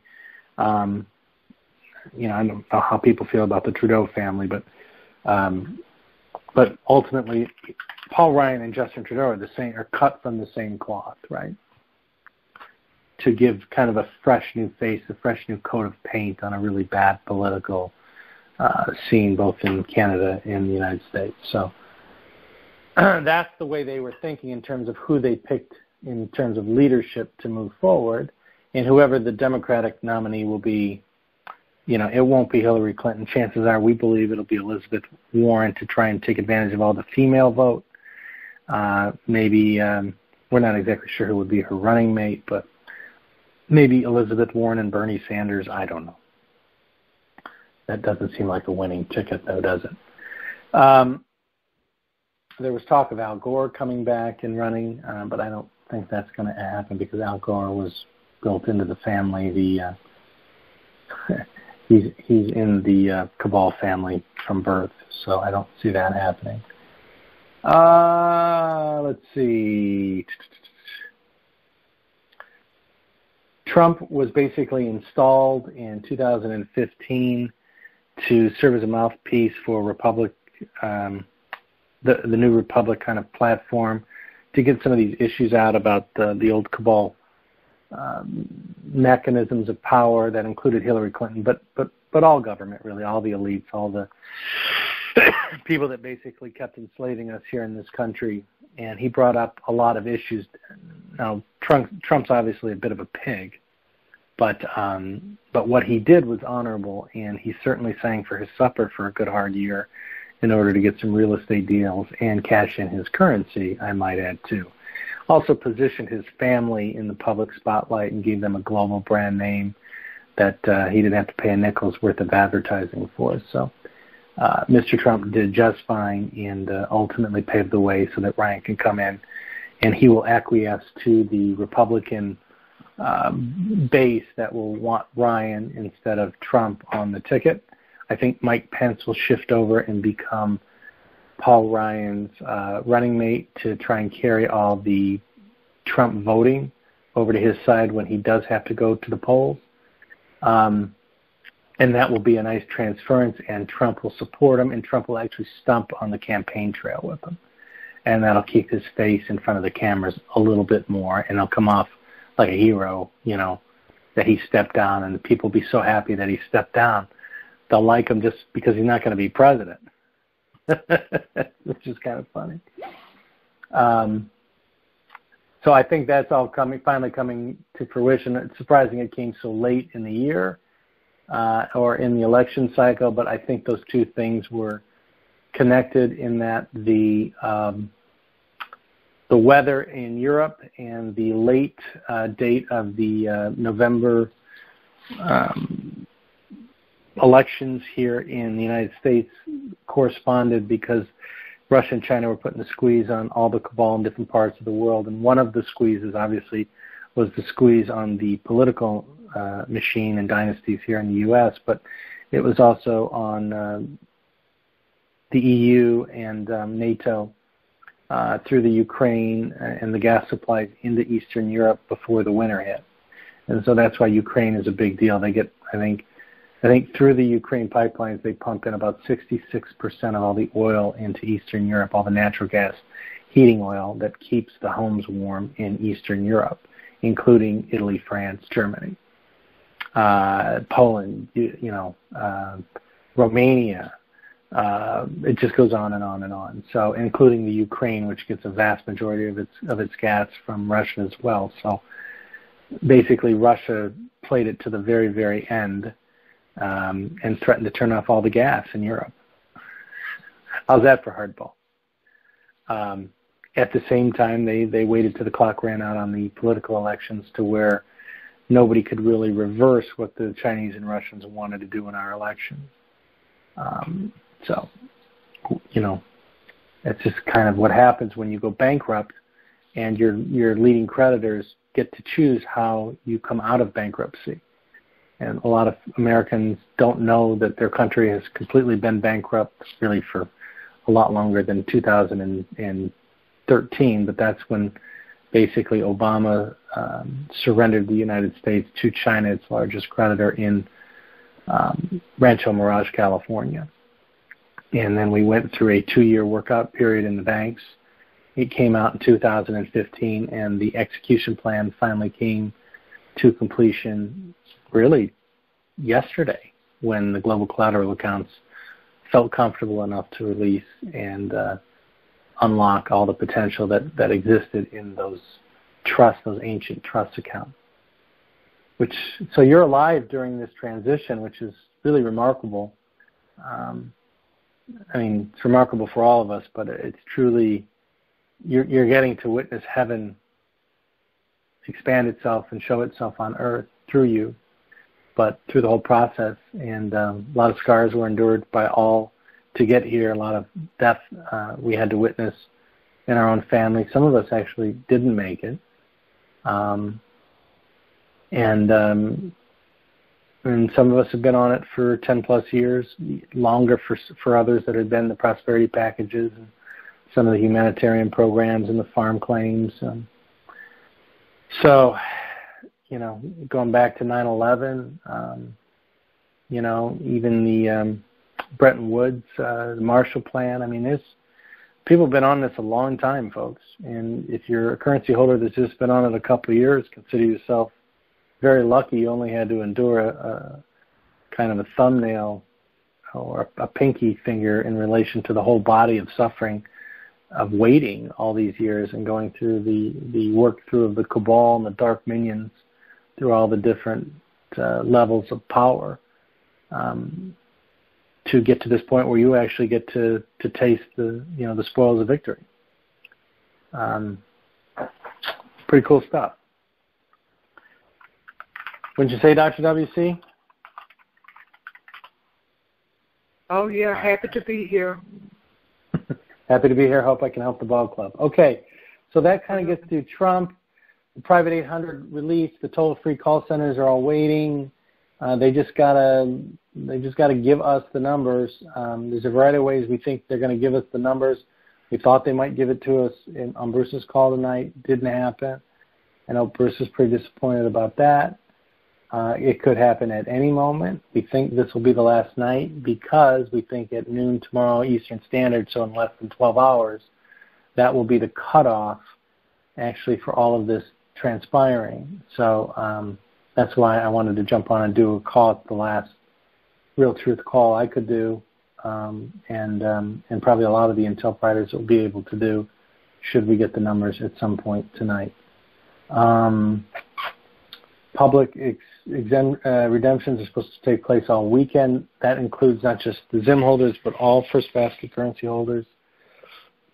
Uh, we understand that Wells Fargo has their tellers ready in banks set up for a Saturday morning entry into brick and mortar for dong, dinar, rupiah, that type of currency. But the Zim will all be offsite. The Zim will all be handled in a very discreet and different manner with uh, a lot more team members around than, than you might get at a, a traditional bank.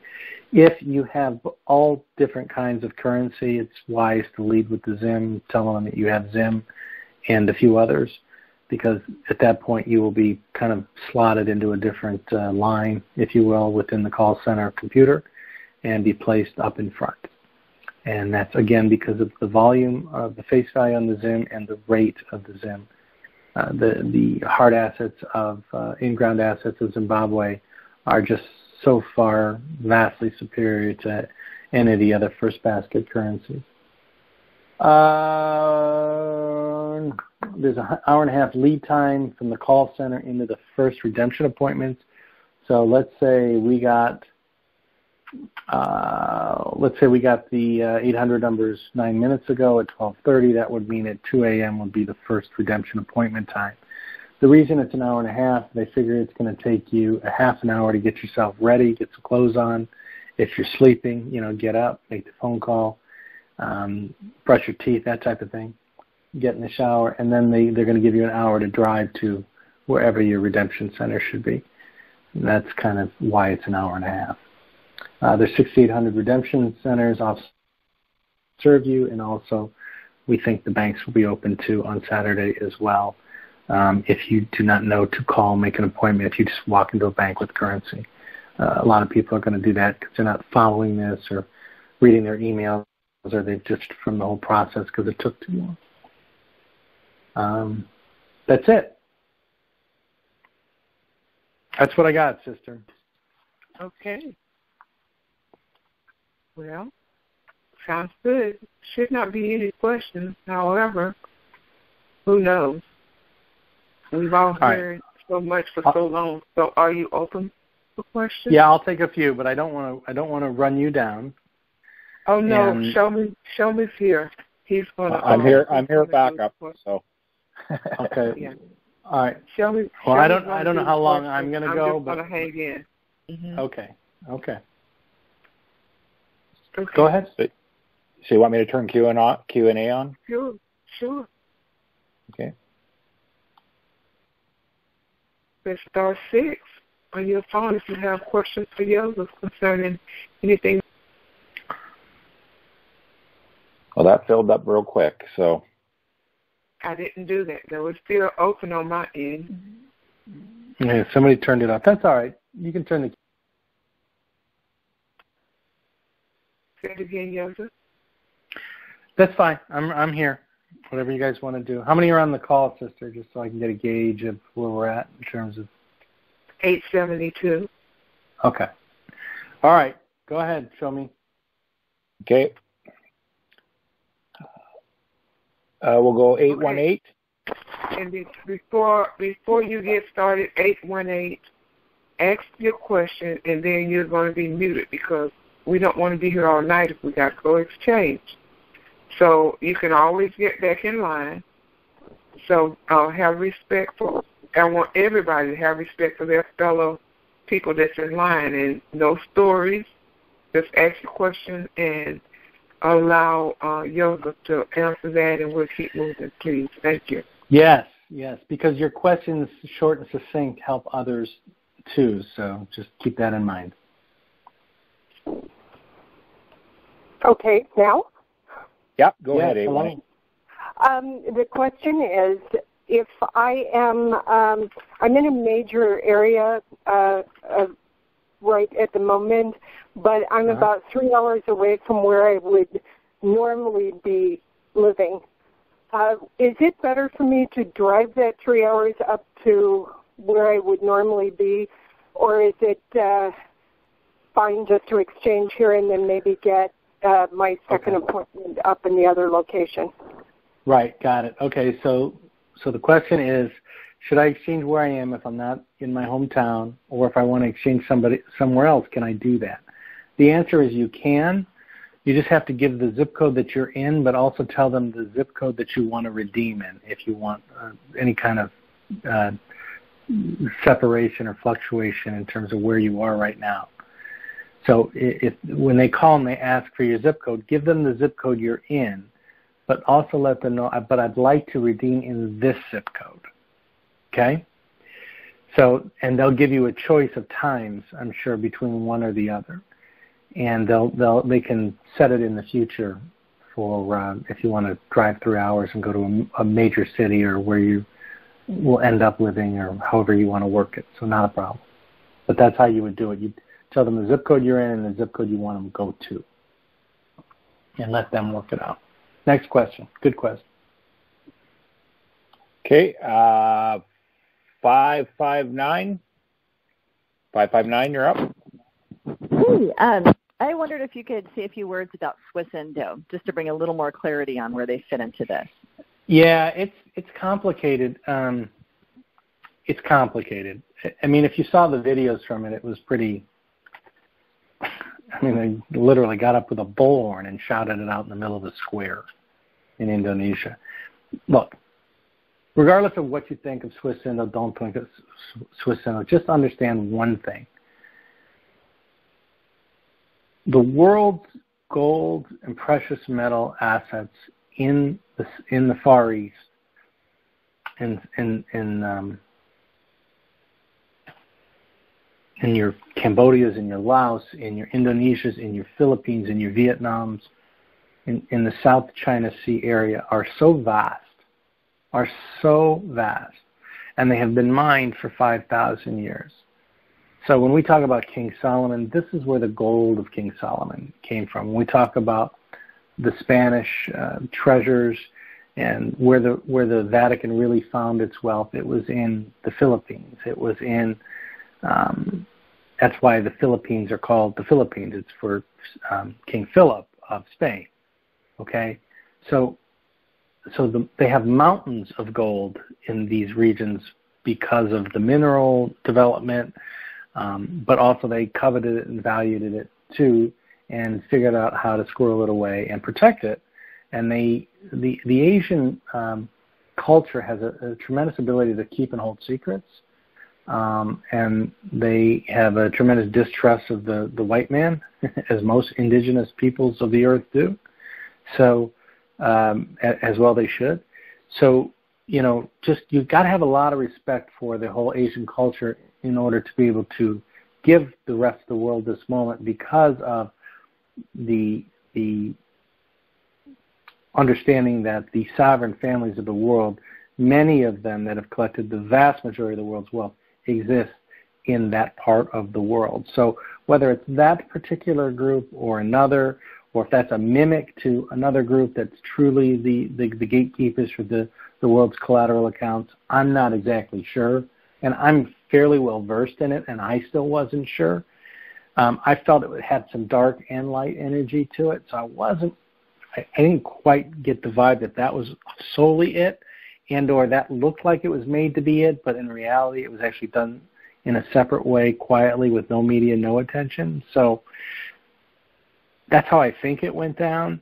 Um, but however it went down, it, it's it's immaterial because those that do control the raw assets have released it, and we're now getting it. So I hope that sheds some light on it. I don't really have some specifics that I know that I don't want to give, and there's some specifics that I just don't know. But I think there was light and dark in that situation. Okay, thank you. You want me to move on, Yosef?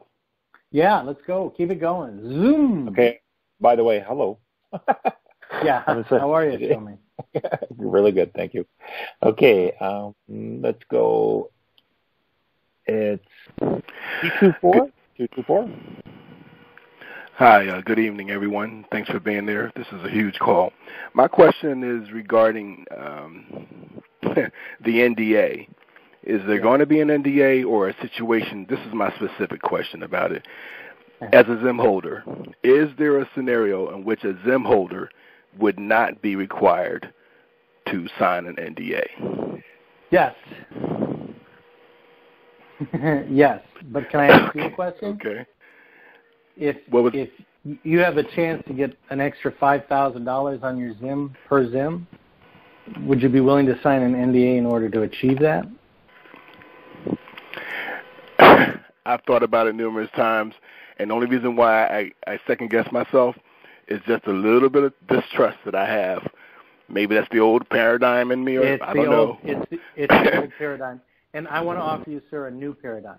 Okay, here's the new paradigm loose links, loose lips sinks ships, right? Right. And the the the one person you got to watch out for in this whole game, this whole benevolent game, this whole gift, right? They're giving you quintillions of dollars. It sounds like the one person you got to watch out for that's your worst enemy and your best friend is you. Absolutely. And it's your mouth that's going to cause you the most problem, not the banks, not Abbott Downing, not Wells Fargo, you. So I want to offer you this consciousness. The NDA is your best friend because it self regulates and governs you. Okay. I mean that sincerely. You've never held this kind of money. You you have no idea how people are going to react to you. You think it's all going to be great, and it's not. A lot of your friends and family are going to be pissed off you didn't include them. They're mm-hmm. going to be um, uh, disappointed in you that they, you didn't give them more. Right. Right. Absolutely. Uh, if if you start speaking to the wealth that you hold because you didn't take an NDA, even if it's a smaller amount than you could have gotten, I, I don't think saying. it's the wise move. I understand. And I say that as a governor on myself as well. Mm-hmm. It, I don't want people to know what I'm worth, what my family's worth for the protection of myself and my family.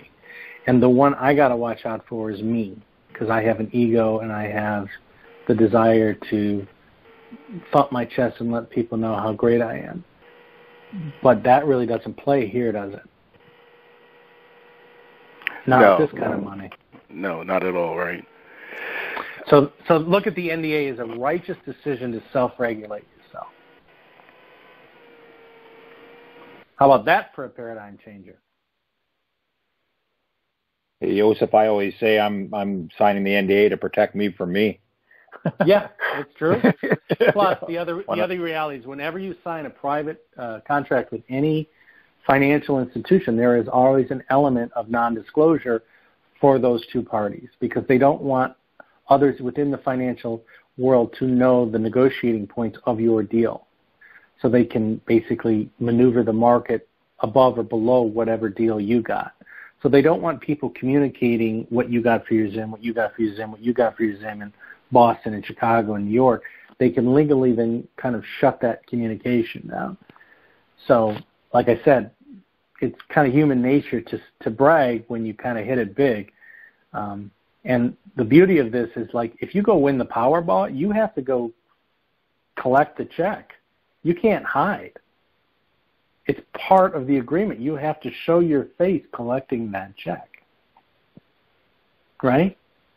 Yep. Now, you don't have to do interviews after that. You just have to show your face and get out of there. But the problem is now everybody knows you rich. You just won the Powerball. So you're a target. The beauty of this situation, you're an offsite center, you make a phone call, you go in, you do your business, you sign your NDA, you come home. Who the hell knows? Until you start buying stuff or you start spilling the beans or you start bragging. Who the hell would know? Yep. I'm just saying, you got to think. You got to think, guys. And when you come out of the redemption center, you're going to understand that things aren't the same than when you drove in.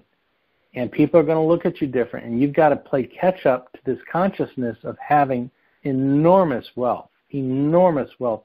And nobody is nobody in your current scope of life is going to be comfortable with this kind of wealth except you.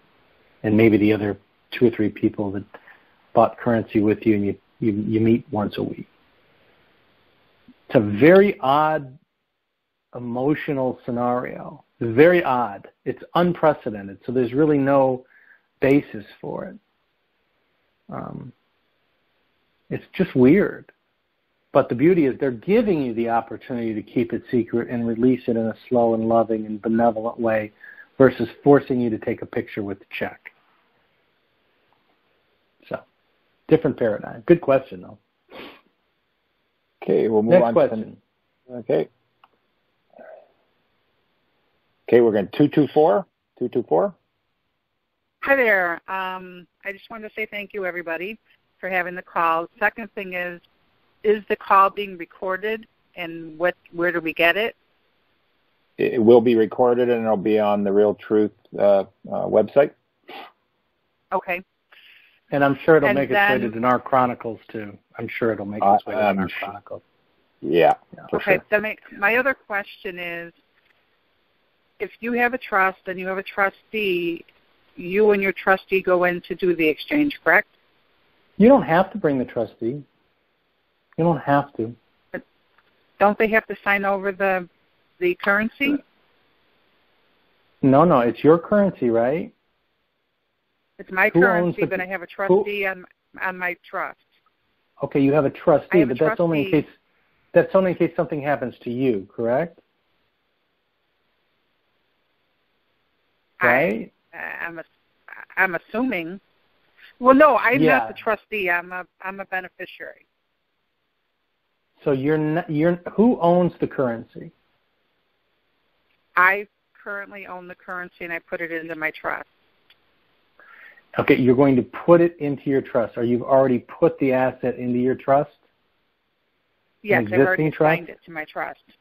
Okay, so you already new have a trust. trustee, but you already have a trustee then for that trust. Right. So you don't need to bring the trustee in. All you need to do is bring the trust in, the copy of the trust, and the paperwork of the um, um, of the IRS for that trust account. You need to bring the tr- an- a, a notarized trust and the um, and the employer number. That's Okay. all you need to bring in, plus your currency. You don't need to physically bring the trustee in. Okay, you can. thank you. You can. You can if you'd like, but I'm just saying you don't have to. Okay. Sounds great. Thank you. Does that does that make sense? Yep. Okay. Thank you. Yep. Okay, six three one six three one. You're up. Yeah. Hi, Joseph. How are you? Good, my brother. What's going on? Uh, I have a situation that I need some clarity on. On the, uh, my wife has her own currency, hmm and I have I have currency also, but I have I'm in a group in Reno. Okay. Um, and my are you in a group is, that you had to? Are you in a group that had to send in currency? No, no, no, no, no. Okay. So you you No, you still possess all your currency. You you Yes. possess it. It's in your hands Yes. right now. All right. Let's not worry about Uh, gift receipts. Let's not worry about groups. Let's just deal with the currency you have in hand right now, Yeah. because that's Yeah, all the bank's yeah, going to care have- about. Right. I have it. In, I have it in my hand, but I'm supposed to bring my currency out to Reno. Why? Okay. And Why? uh, this. Well, I don't know because it's, it's a group that that I'm in. my my brother, you will get a higher rate, a better rate exchanging on your own an hour from your house than you will traveling anywhere with a group. Okay. I think right, I think uh, it's I think as a new paradigm you should just throw the concept of the groups out. Everybody should. If you Well, haven't already me- turned in your currency to a group, just go in on your own. You're your own group now. You don't need the other groups. There is there is uh, Zim being held in escrow for me out there. When you say being held in escrow, you physically don't have it in hand. No, I don't. I do not. Well, then there's your problem. You got to go get your currency out of Hawk. But what if you don't Right, get so, it? I don't know. Did you buy backup I- I currency? Yes, I have quite a few quite a few Zim notes of my own, hundred T notes. Then, my brother, I would just actually just take what you got in and go do your redemption as is with what you have in hand, and then just deal with that after the fact. And and if you have enough in hand and you have so much money, I think it'd be wise just to let that go I agree with you. and and not travel for it. I know a lot of people have a loyalty to the groups, and I get it. I was in the Admirals group in Reno too, but um, but that was a situation where you had to physically turn in currency. no, I would never have done that. Okay, well I I did that. Okay, but a lot of people sign up with the Wells Fargo group, the General 64 group, and they basically think they're getting a higher rate because they're with the group, and that's complete nonsense now. yeah, way way back when I did sign up for the Generals group too. You know, but I never heard a word right. about it. So Right. Yeah. So this goes for so it's a good question because it involves groups, and I'm not saying you can't go and do what you were trying right, to do in Reno, right. and I'm not trying to discourage anybody in Reno from from profiting or, or doing what they said they were going Right. to do and following through. That's not what I'm saying. I'm saying you have No, so much wealth in hand. Your smartest thing is to get that wealth out of your house, get it into a bank, get it converted, and get home as quickly as possible. Uh, now, to my wife, can we go? We can't go in together, correct? Or we can? Oh, you can go in together, yeah. Oh, yeah. I mean, I mean, I, if I go in with her and then you know, because I have, she has her own currency, but actually I can go in and That's okay. be under the guise Take it all in. Take it all in. Take it Okay. all in. Okay. Yeah, take it all in. Because what'll happen is if she, let's say she didn't have, does she have Zim? Yes. Okay, so you both have Zim, so you'll get one of the early Yes. appointments. You'll zip right in. It'll be easy.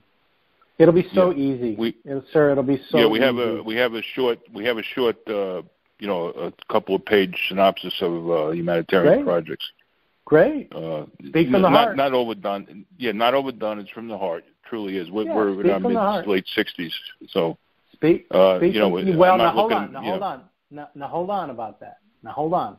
Great secondary question. Let me address this. You're in your 60s. Okay.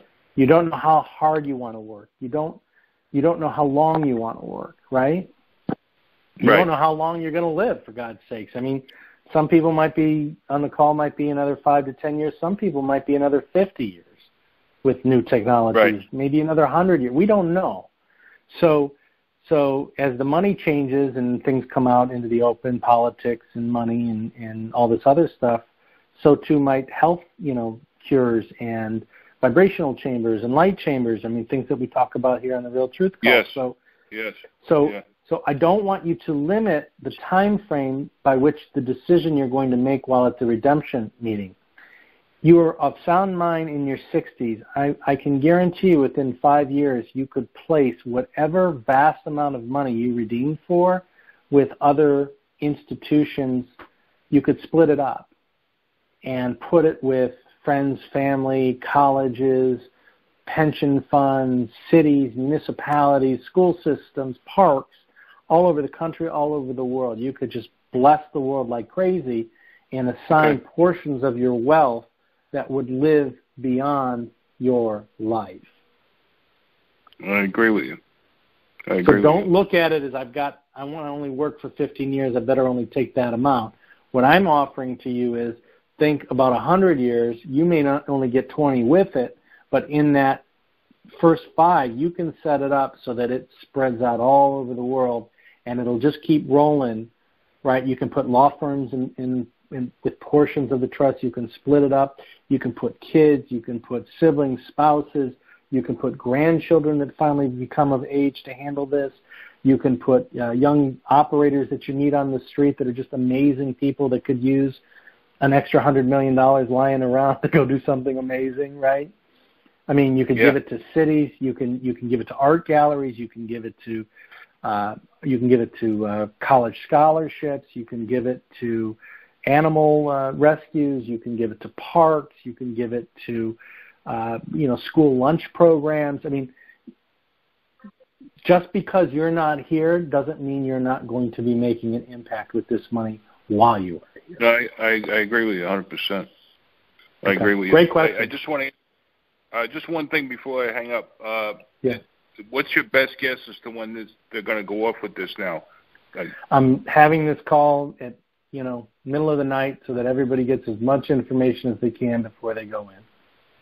It's kind of like getting Right, so that you- last gasp of oxygen before you take the dive, right? right.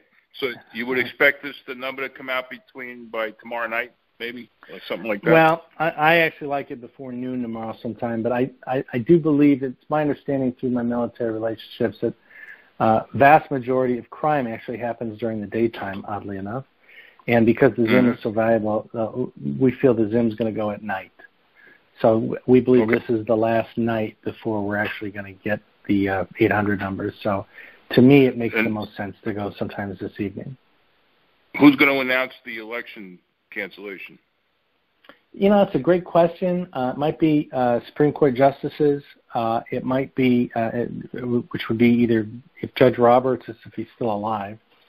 Um, uh, it could be Paul Ryan. The whole Congress can basically suspend the elections as well. Um, we don't. We don't we particularly actually know. See, would we see the actual those video resignations of Obama and Biden at some point? Yeah, well, I think the video ones are on reserve. I think they're going to try and do it live. But yes, Okay. You you should see them. I mean, it's part of ripping the band-aid off. You you can't have two presidents for one country. What are, what are they? I'm just curious. What is their plans for those two? Central sun reconditioning. Do you, do you know what that Yeah, I got you. Okay, I get I get I get the message. Okay, okay. Well, really I think I think Obama I think Obama's playing both sides of the fence, so he may get amnesty differently, but Biden's toast. Biden is a, a, a prince of darkness. He's bad. I, he I, looks I, like he's a he's a dumb buffoon, but he's not at all. He's he's yeah, pure yeah. I think he's a snake, but yeah. Uh, he's and you said that yeah. the Clintons turned down the amnesty. It's my understanding. Well, Now maybe they haven't maybe they have until tomorrow to change their mind, but that's, uh, hardcore, isn't it? Wow. They are hard. Yeah. That, well, they're clones. They're they're not real Yeah, people. yeah. They're they're being Not they're like people, remote no. controlled, battery operated, robotic people. yeah. They're not they're not who you think they are. They're it's it's all a No, I know. snake snakeskin and oil show. It's ridiculous.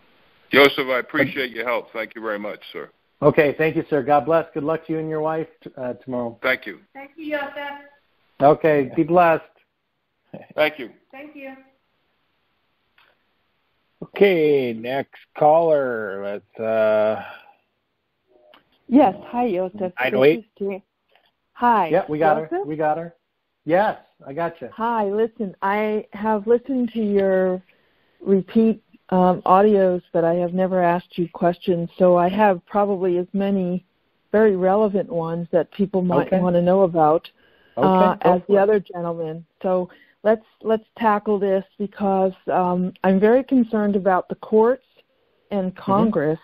Um, They should be wiped out in a um, constitutionally uh, in a constitutional form of government. I need to know from your vantage point.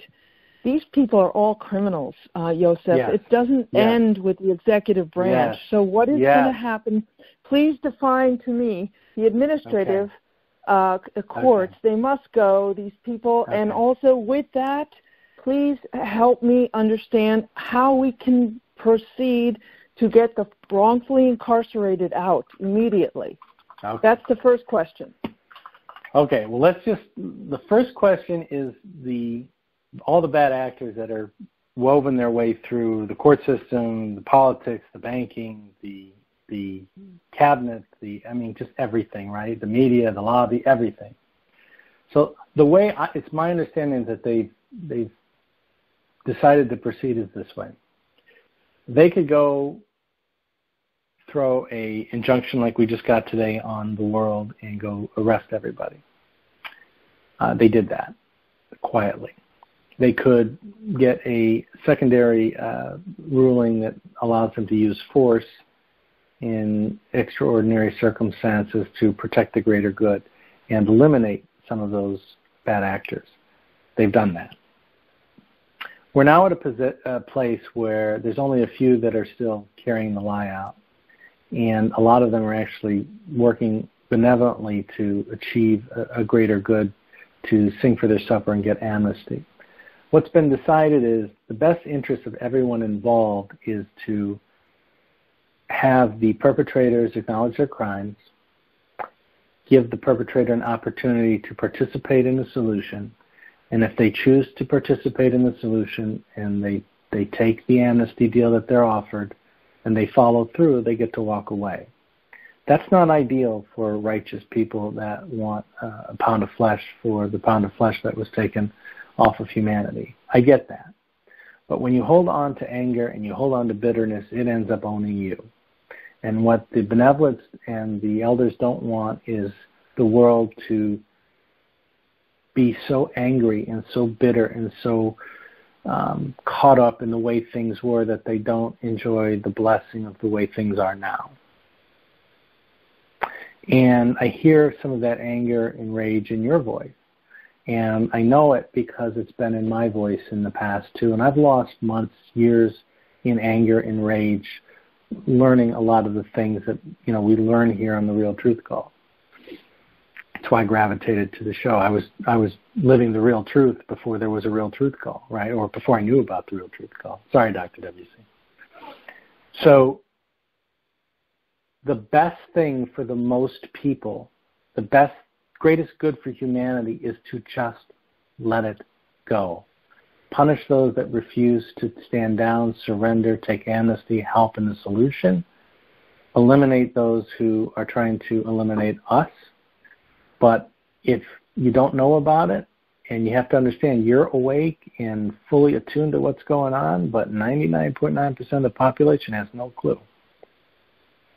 So to march them through the streets with pitchforks and and and I have this conversation with Dr. WC, who's got a big sword, and certainly with Fisher, who would just like to torch him with a blowtorch in the middle of, uh, you know, D.C. Um, the reality of it is the best thing for the most people is to forgive and make pono. And that's hard. You, the love you have to reach and, and connect to deep in your heart to forgive those that have enslaved, tortured, raped, pillaged, stolen, lied, humanity. Like, how do you do that? How could you reach that kind of forgiveness level, that kind of love? And yet, we have two horses to focus on. We can focus on the black horse that has been riding us, trampling on us, killing us, destroying us for 13 millennia. Or we can all jump on the white horse. As my friend Donnie told me today, I've just decided enough with the sorrow, sadness, anger, bitterness, rage. I'm jumping on the white horse and just running with this thing. This is amazing. And that's my choice. And I want to offer you that choice and everybody listening tonight the choice of you can study the dark horse. you can look to take a pound of flesh out of that horse. You can look to whip them. You can look to to do what they did to Christ and stone them and slash them, and you can do that, and that's an option. I'm not telling you what to do, but I think we all know that's an option. But there's another option. There's one of light. There's one of love. There's one of bliss. There's one of forgiveness. There's one of abundance. There's one of mercy. There's one of healing the soul of the world instead of being upset constantly that we were so abused and so tortured and so enslaved and so oppressed for so long. And I just want to give you the option. So whatever questions you have moving forward, I just I hope you get from this call that you have an option to ride a dark horse or a white horse from this point forward. And one thing I want to tell you and tell everybody else out there only those that are willing to climb the white horse get to ride in the next race. The dark horse race has finished.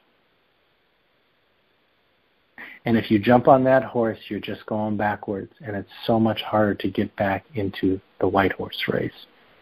Right now, it's a level playing field. You can just get off one horse and slide to the other, and off you go. But that white horse is going to start running away into the bliss and the love and the and the grace and the mercy of this new thousand years uh, thousand years of light. And the dark horse is going to be running back to the central sun, and it's going to be really hard to hop off of that and get back onto the white horse because the the distance is going to increase by the second, by the hour. That is why I beg people to surrender to God because God has forgiven the darkness. He's punished them. He's put them in their place. He's changed the entire, every cell of the earth with the blink of his eye and the pass of his mighty hand. If God can forgive these people, why can't we? Why can't I? I don't want to spend another second in misery. I don't want to spend another second in poverty.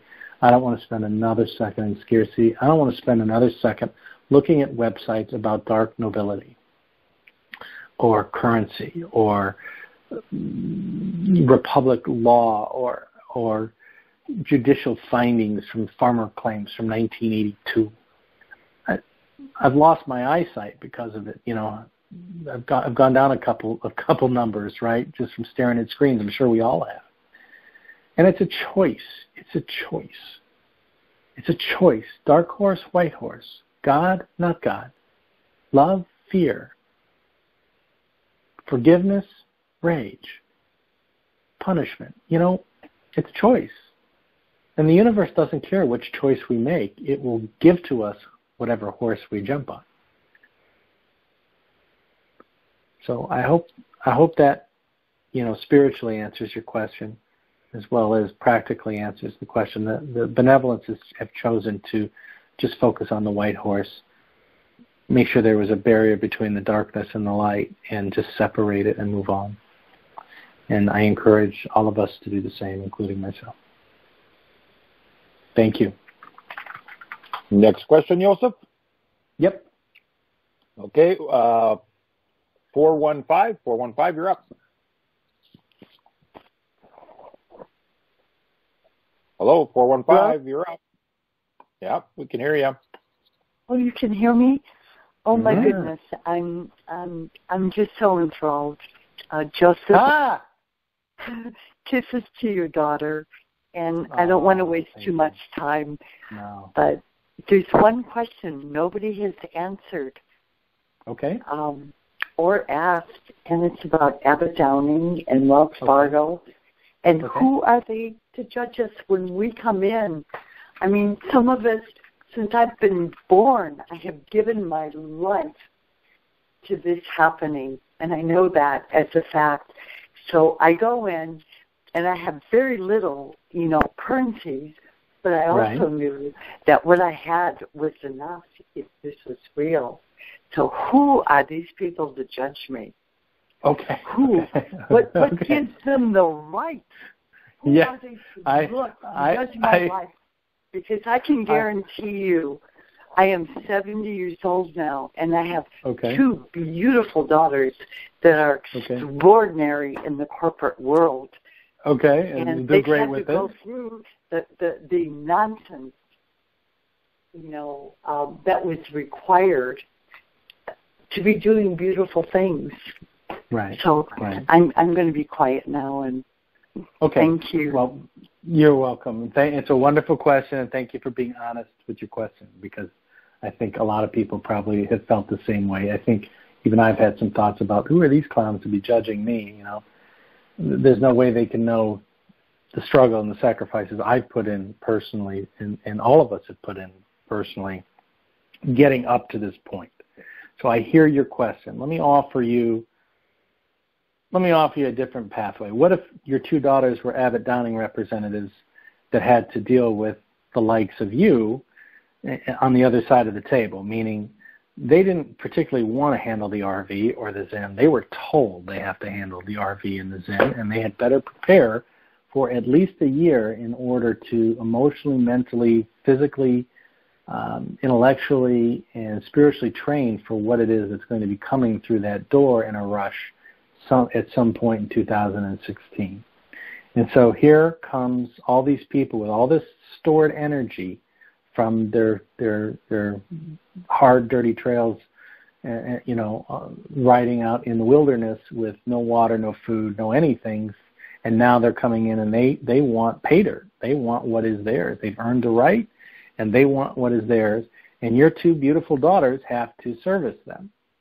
Now, part of the service of that is to listen to what it is that um, those that are coming through the door are looking to accomplish. Everybody kind of started in this for a reason. Everybody will kind of, over the course of a conversation, probably get to the sweet spot of why they're really there. And that's when the Abbott Downing team has emotionally and professionally trained like psychologists, because they do get psychology training, especially there's going to be a lot of anxious, even angry, uptight, blissful. People are going to be crying. Some people might, you know, like Jerry Maguire said, they might drop in their depends, right? So you just don't know what's gonna what's gonna come through the door or what emotional state people are to be in. And Abbott Downing has had to train for all those different scenarios. It's not that they're trying to limit your value um, at the time of redemption in terms of your rate and your structured payout program. What they're trying to do is figure out in a very short period of time who the hell you are, what it is that you're looking to accomplish, and how best to accomplish that. Because you, my lady, are a 70 year old, you know, spark of light that's got two daughters that's going to set the world on fire through your own family foundations and trust. Not every 70 year old woman is going to have that. And not every person is going to be 70 years old or a woman. And not every person is going to have spouses uh, or children that can be trustees that have been trained in the corporate world. So, in a very short period of time, they've got to identify who you are, what your goal is, what you really want to accomplish at the end of this meeting, what you can handle, you know, intellectually perhaps and and and emotionally. Because imagine a 24 year old coming through the door that you know, didn't didn't even finish high school, and they're out there, and they got Zim and a lot of it. And they were a waiter, a waitress, or bartender, and they bought ten thousand dollars worth of Zim. It's going to come.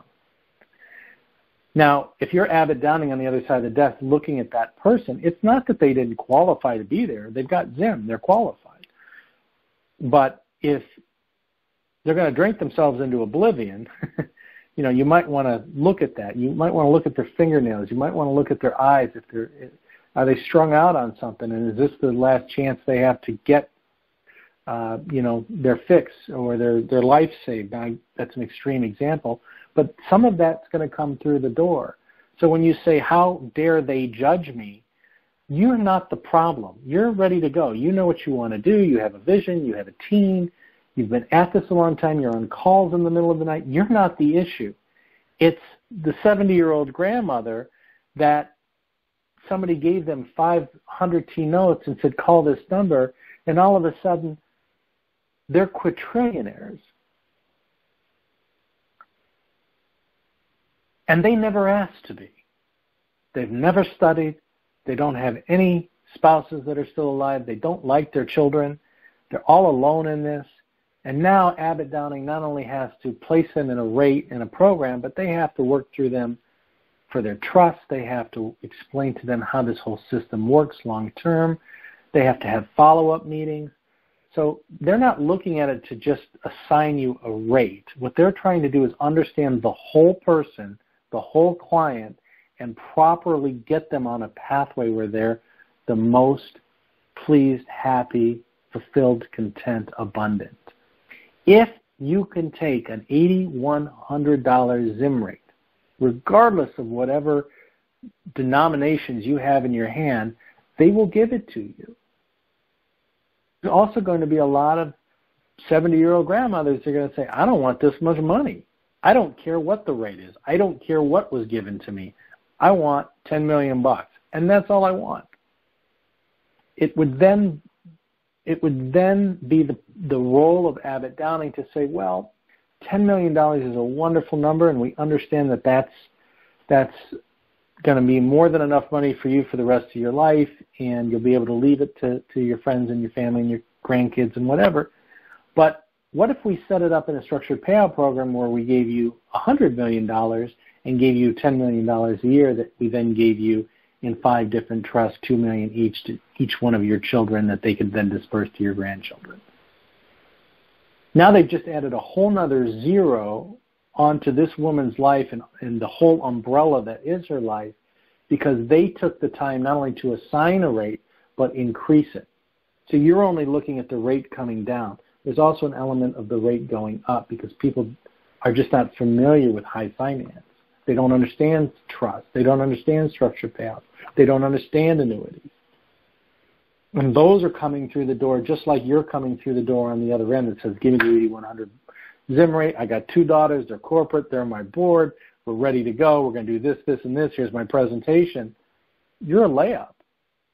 The, the, the other seven year old grandma may not be, and the 24 year old may not be. So try and keep the anger in check because there's going to be a lot of weird emotions running around those redemption centers. You're going to hear people sobbing like you're at a funeral. They'll be so happy, right? Because all their debts have just been relieved. They're going to be sobbing. and then you're going to hear some people scream. You're going to hear, you know, some people, you're going to look at some people, they're going to have dazed looks in their eyes. Like, what just happened? Like, I've been studying this for 10 years and I still don't understand what just happened. They just gave me how many zeros? What, I, I, I have an unlimited credit card. What does this mean? Like, how, when I go outside, do I buy something? Do I not buy? Do I get a house? Do I wait? Do I, do I go pay off the city of Toledo's bills? Like, what do I do? There's going to be that whole smorgasbord of emotion that Abbott Downing is trained for that you're not. And so maybe those that you're feeling might be your persecutors might actually be your saviors and your helpers because they will have worked with several sample uh, redemptions and probably one just like you, and they know exactly how to slot you, exactly where to place you, and get you going in the right direction. So again, you're looking for a partnership with the bank. You're not looking for an adversarial one with them. And I, I know that that question is probably true for every one of the audience listeners on this call and all of those that are going to pick up the audio recording. Don't go in there looking for a fight. And by the same token, don't go in there and take less than what you're worth. But either way, know your value and, and hold it. And speak truth and speak from the heart and don't flinch. We can all be friends after and shake hands and, and uh, sing kumbaya at the next meeting. This is business. I'm here to accomplish something for humanity, for my family, and I'm going to do it. And when I get out of those doors and I get on the drive going home, I'm going to scream at the top of my lungs. But for the hour and a half, the two hours that I'm there, the 45 minutes, however long I'm there, I'm going to act like a professional and understand that I'm going to give these people a break and, and be ready with my materials and know what I want when I before I get in there. And we're going to accomplish this together, and we're all going to have a good experience. I would think, Joseph, maybe just to treat them the way you'd want to be treated by them. So, yeah, it's you know? a pretty simple rule. Yeah, just yeah. don't look at it like they're going in to, to knock you down. In many respects, a lot of times they're going to they're going to bring you up. It really will depend on what you can handle, and also how familiar you are with the process. Do you know the sovereign rates? Why do you know the sovereign rates? Is this a presentation you've been working on? Did you physically write this presentation, or did somebody give it to you and say go turn it in? You know, like they're going to evaluate you on a lot of different things. What's been your working experience? How much money have you handled in the past?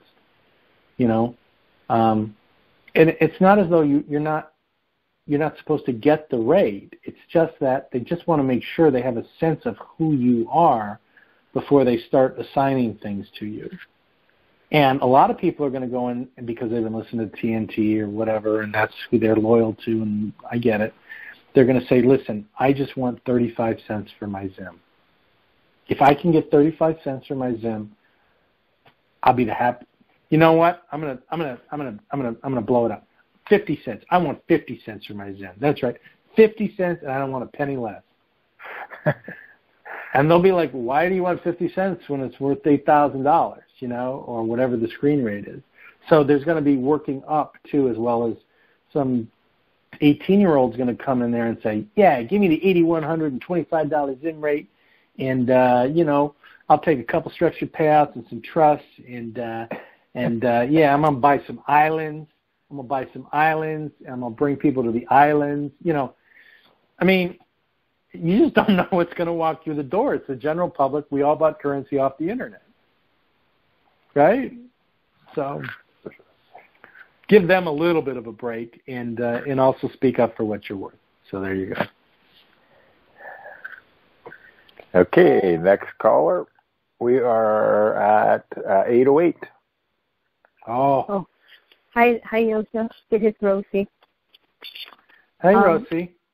Hi. Um, it's it's an honor to talk to you, and I thank God for all the education that you've been teaching us ever since you came on early this oh, year, and I appreciate you. you so much.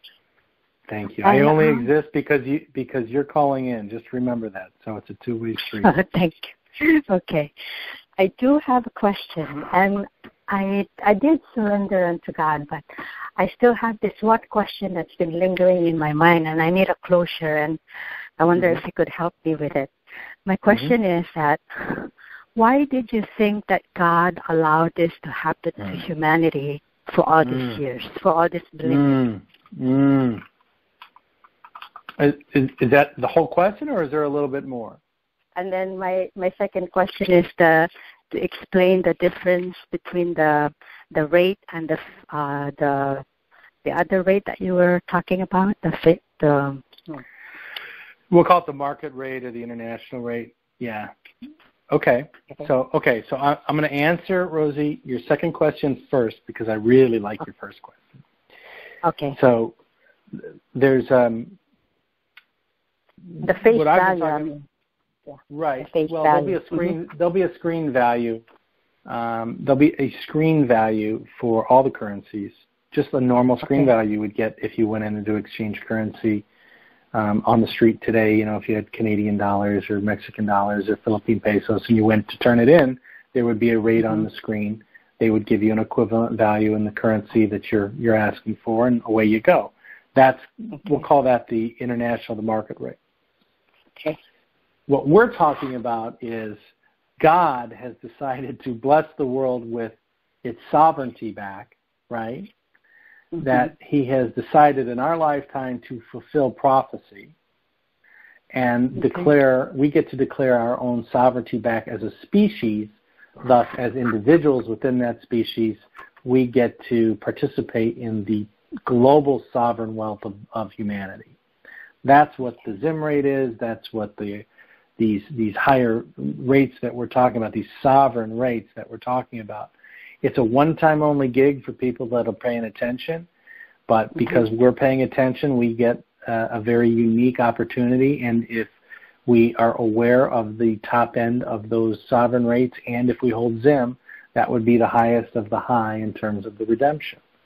And so that's why I've always been one that had tried to preach the what I knew was to be the top rate on a daily basis from the screens, not just the screens at the teller level, but the screens at the executive banking level in Asia, so that that I could give a range for people to determine their own wealth versus somebody else determining um, their wealth for you or your wealth oh.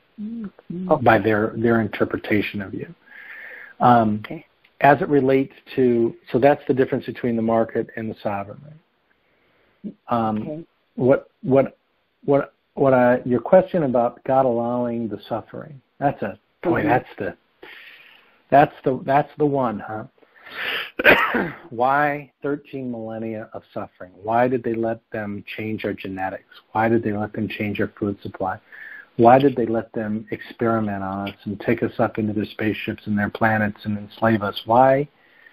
Why did they clone us? Why did? Why was that allowed? Why?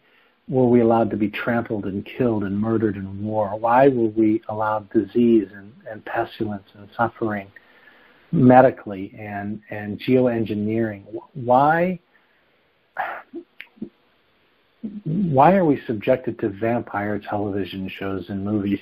I mean, why, every place you turn, you just see, even Halloween is an occult holiday. It's pure occult. It's the highest occult satanic holiday Saturnalia holiday, pagan holiday in the, in their calendar, and we dress our little children up in little outfits and goblins and and run them around like it's no big deal eating sugar candy that ends up causing cancer and killing us. Do you see the absurdity of it all? Why would a benevolent, loving God let that go on? Well, the truth is, He didn't. He didn't. He sent Christ his form, his son, his self in the flesh to let us know he hadn't forgotten about us. He allowed him to be sacrificed and martyred so we'd never forget him. He told us he would come back and reclaim the earth, and that's what he's doing. Now, in God's terms, what's 13 millennia? The blink of an eye. He's created the entire universe, all the planets, stars, universes, super universe, cosmos, solar system, Milky Ways, dimensions. He's created it all. This is one of his many, many creations. We are one of many, many species. We are one of many, many planets. And yet, he didn't forget us. So, one way to look at God is to say, yeah, it took you 13 millennia, but you never really let us get extinct. You never really let us get so enslaved we couldn't fight back. You never destroyed us outright. You, uh, you never let an asteroid hit our planet. You always kept it warm with the sun. And when it needed to be cooled or it needed to be flooded, you did that too. I think, I think, Rosie, the thing that we ought look at in this in this life that you and I exist in, and all of us are sharing on this call, is we exist in the transition moment when God blinks his, his eye and waves his mighty hand and takes it back as a demonstration to all the universes and all the solar systems and all the planets and all the species that this solar system, this planet, this earth, this humanity, these genetics, these cells, these people, this, this race matters. Matters so much. They are so beloved. They are so sacred that I gave them a piece of my soul, my oversoul, so that they could survive through the worst possible darkness any planet has ever seen. Just to show all the other planets that you cannot rebel against God. And just as Christ was sacrificed and martyred to demonstrate that he cannot be overcome, so too we, a lot of us have been sacrificed and martyred to demonstrate for all future generations of humanity and all species of every galaxy and every planet that the human race is sacred and we do embody God within us. And for that we are eternally blessed to be leaders in this movement and to be participants in this moment. Um, more blessed probably than, than some others that did their part in different generations, different eras, different millennia. But nonetheless, we all did our part to serve God. And this is what God wanted. We call it suffering. Um, and it certainly hurt. But, you know, the blessings that we're going to be able to shower on the world with our lives moving forward will so far outweigh the sufferings we had to endure to get here, both on an individual level, those here on the call, but also on a group and a collective level as a species. We are going to right the wrongs of this planet so fast it will make every cell in your body spin around like it's in a centrifuge. Wait till you see what we do to the cities. Wait till you see what we do to sub-Saharan Africa. Wait till you see what we do to Southeast Asia. Wait till you see what we do to the Philippines. Wait till you see what we do to Hawaii. Wait till you see what we do to the inner cities in Detroit, in Chicago, Atlanta, Akron. Wait till you see what we do to the lakes and the rivers and the streams. Just wait. Because now we have the resources of God at our disposal. Not the resources of man, the resources of God. And that's what the sovereign rate represents, the resources of God. And that is why I have told people that if you truly want to play with these resources of God, you have to surrender to the will of God. It's only fair. It, it's it's a match. If you're going to use God's assets, you you've got to be in alignment with God, or else you won't be able to keep them. And if you try and keep them out of alignment with God, it'll kill you. Look at what happened to every other rebellious person going on now. They're all being arrested, shipped off for reconditioning or worse.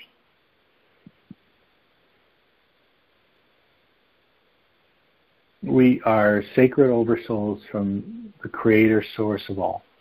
We embody his divine grace, omnipotence, intelligence, his beauty, his mercy, his patience. We embody it all. And that's why they have tried to enslave us and kill us and change our genetics. They are so angry and jealous that he loves us that much.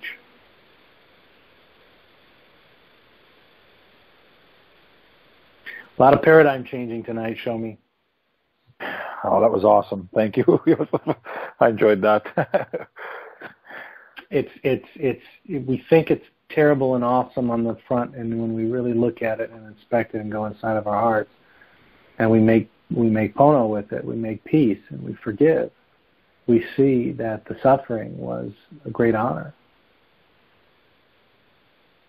That's for sure. Um, a great honor.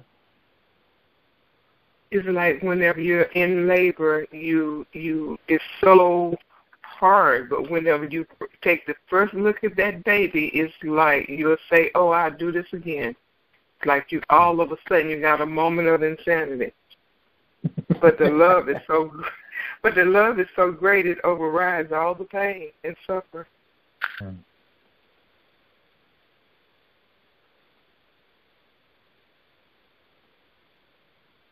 Hmm. Good, good question. Good question. Well, that was very good. Okay, you, next, next question is six two six. Six two six, you're up. Six two six. 626, you're up. Okay, move on to the next one then. 626 may not be up. Yeah, 678, 678. Hey, Dr. WC. Hey, Yosef. Hey, Shelby. This is Dory from Chicago. Hey. Um, hi. Yosef. Hi, Yosef. Yosef, I missed hey. you. I'm glad it's good to hear from you again. Oh, thank you. Thank you for having me back. Uh, my question is from last time. Um, I'm interested in the health and helping people, but they never said anything about how can we help the people with mental mental illness. There's a lot of people mm. that's walking around homeless mm. and um mental illness because they shut all the mental clinics down. Right. My mom, my mom actually worked for a mental clinic uh, for 20 years, a state-run facility for young boys of the court that uh, had real issues. So I'm sensitive to that. Um, I, I know it's. Have friends. Go ahead. I know it's people there to help for drugs and other things, but how can we help those for the mental illness? Well, how are you going to help them? What's your plan? I don't know. I haven't heard of any technology or anything for the mental illness people. Okay, well, I'm very familiar with mental illness. Um, I'm very familiar with the people that work in the in the world. Um, I'm very familiar with the lack of funding. Uh, my my mom actually was forced to take a, an early retirement because uh, because the state facilities were shut down one one year in, in mass. So she lost her job because of it. And so so people basically go out in the street, they release them into the wild, uh, and they they really need care. So you're going to have all this money. My suggestion to you is is is twofold. Number one, start quickly, start immediately with existing uh, facilities that um, that do this kind of work and do it well, and make sure that they get immediate funding right off the bat. Take them slow, five, ten, fifteen, twenty million bucks, but work them up each quarter so that they can generate the staffing and then the added facilities to take on more and more and more cases and people and give them proper service. If you gave them a $100 million overnight, they wouldn't know what to do with it, and it'd be a mess. So you got to slow drip them into the reality that you're never leaving them um, and set up some sort of financial trust for them so that it spits off interest so that they always have a sense of security that they're going to have that type of uh, endowment or, or contribution there on a on a quarterly or semi-annually, certainly annual basis. That's the first thing I would do. Then I would probably hire a crack team of um, social welfare experts, uh, people that are leaders in the field from a scholastic or academic point of view, um, people that have worked in school systems or with the state or consultants, those types of people. And I would pay them to basically research the best practices all over the world for mental um, uh, handicaps or uh, problems with social disorders, uh, physical disorders, um, and try and accumulate the best possible plan. And then once they have that accumulated, six months, a year, two years, however long it takes, I would then add some funding to that and let them go out and basically build the facilities, hire the people, start the nonprofit, for-profit, some combination of, of the both, so that you could create change within the um, the cause that you um, wanted to address with this money. That's what you're called to do. I think that would be a really good thing to talk about at the time of your redemption, uh, because it is an, an area everybody wants to go to, you know, cool buildings and new technology, and nobody really wants to go deal with the mentally retarded or, or um, that's not the right word anymore, but um, socially disabled or, or physically disabled or impaired, uh, autistic. A lot of families in crazy need, and there's just a lot of people walking around the streets that are either homeless um, or uh, you know getting into bad things because they just can't function in today's society. The, the truth of the matter, if they were given a shower, some food, a uh, place to live, sleep, and some pride and dignity restored with a hug every once in a while, they could do things. And I've seen uh, mentally challenged people or, or limited people in their physical capabilities actually perform meaningful tasks to them in different facilities around where I live. So um, I hear what you're saying, but don't just just give money to the existing consciousness of this. And regardless of whatever your uh, your bent is of what you're going to go do in the world and what your your heart's calling you to go out and, and serve. Always push the needle a little bit higher. Uh, take care of the initial needs, certainly with as much money and find as many good people as you can. But just know, part of your responsibility of being a chosen one with this Zim and having this kind of money is you are the ones that are going to challenge the envelope. You're going to think outside of the box, fund it, make it happen. You are going to ask people to be better. You are going to give them the time, the space, the emotional security, the support, both financially and and spiritually, to try new things, make things better so good we can't even uh, you couldn't even imagine it two years ago, and now you're doing it, and you're doing it in 10 starter facilities, and in 10 years you're going to be in 100 different cities around the country. That's who you are with this kind of wealth. You are as much of a cheerleader of humanity and the improvement of conditions of humanity uh, than you are the person that, that puts your name on the front of the check now uh, to make sure that everybody has what they need financially.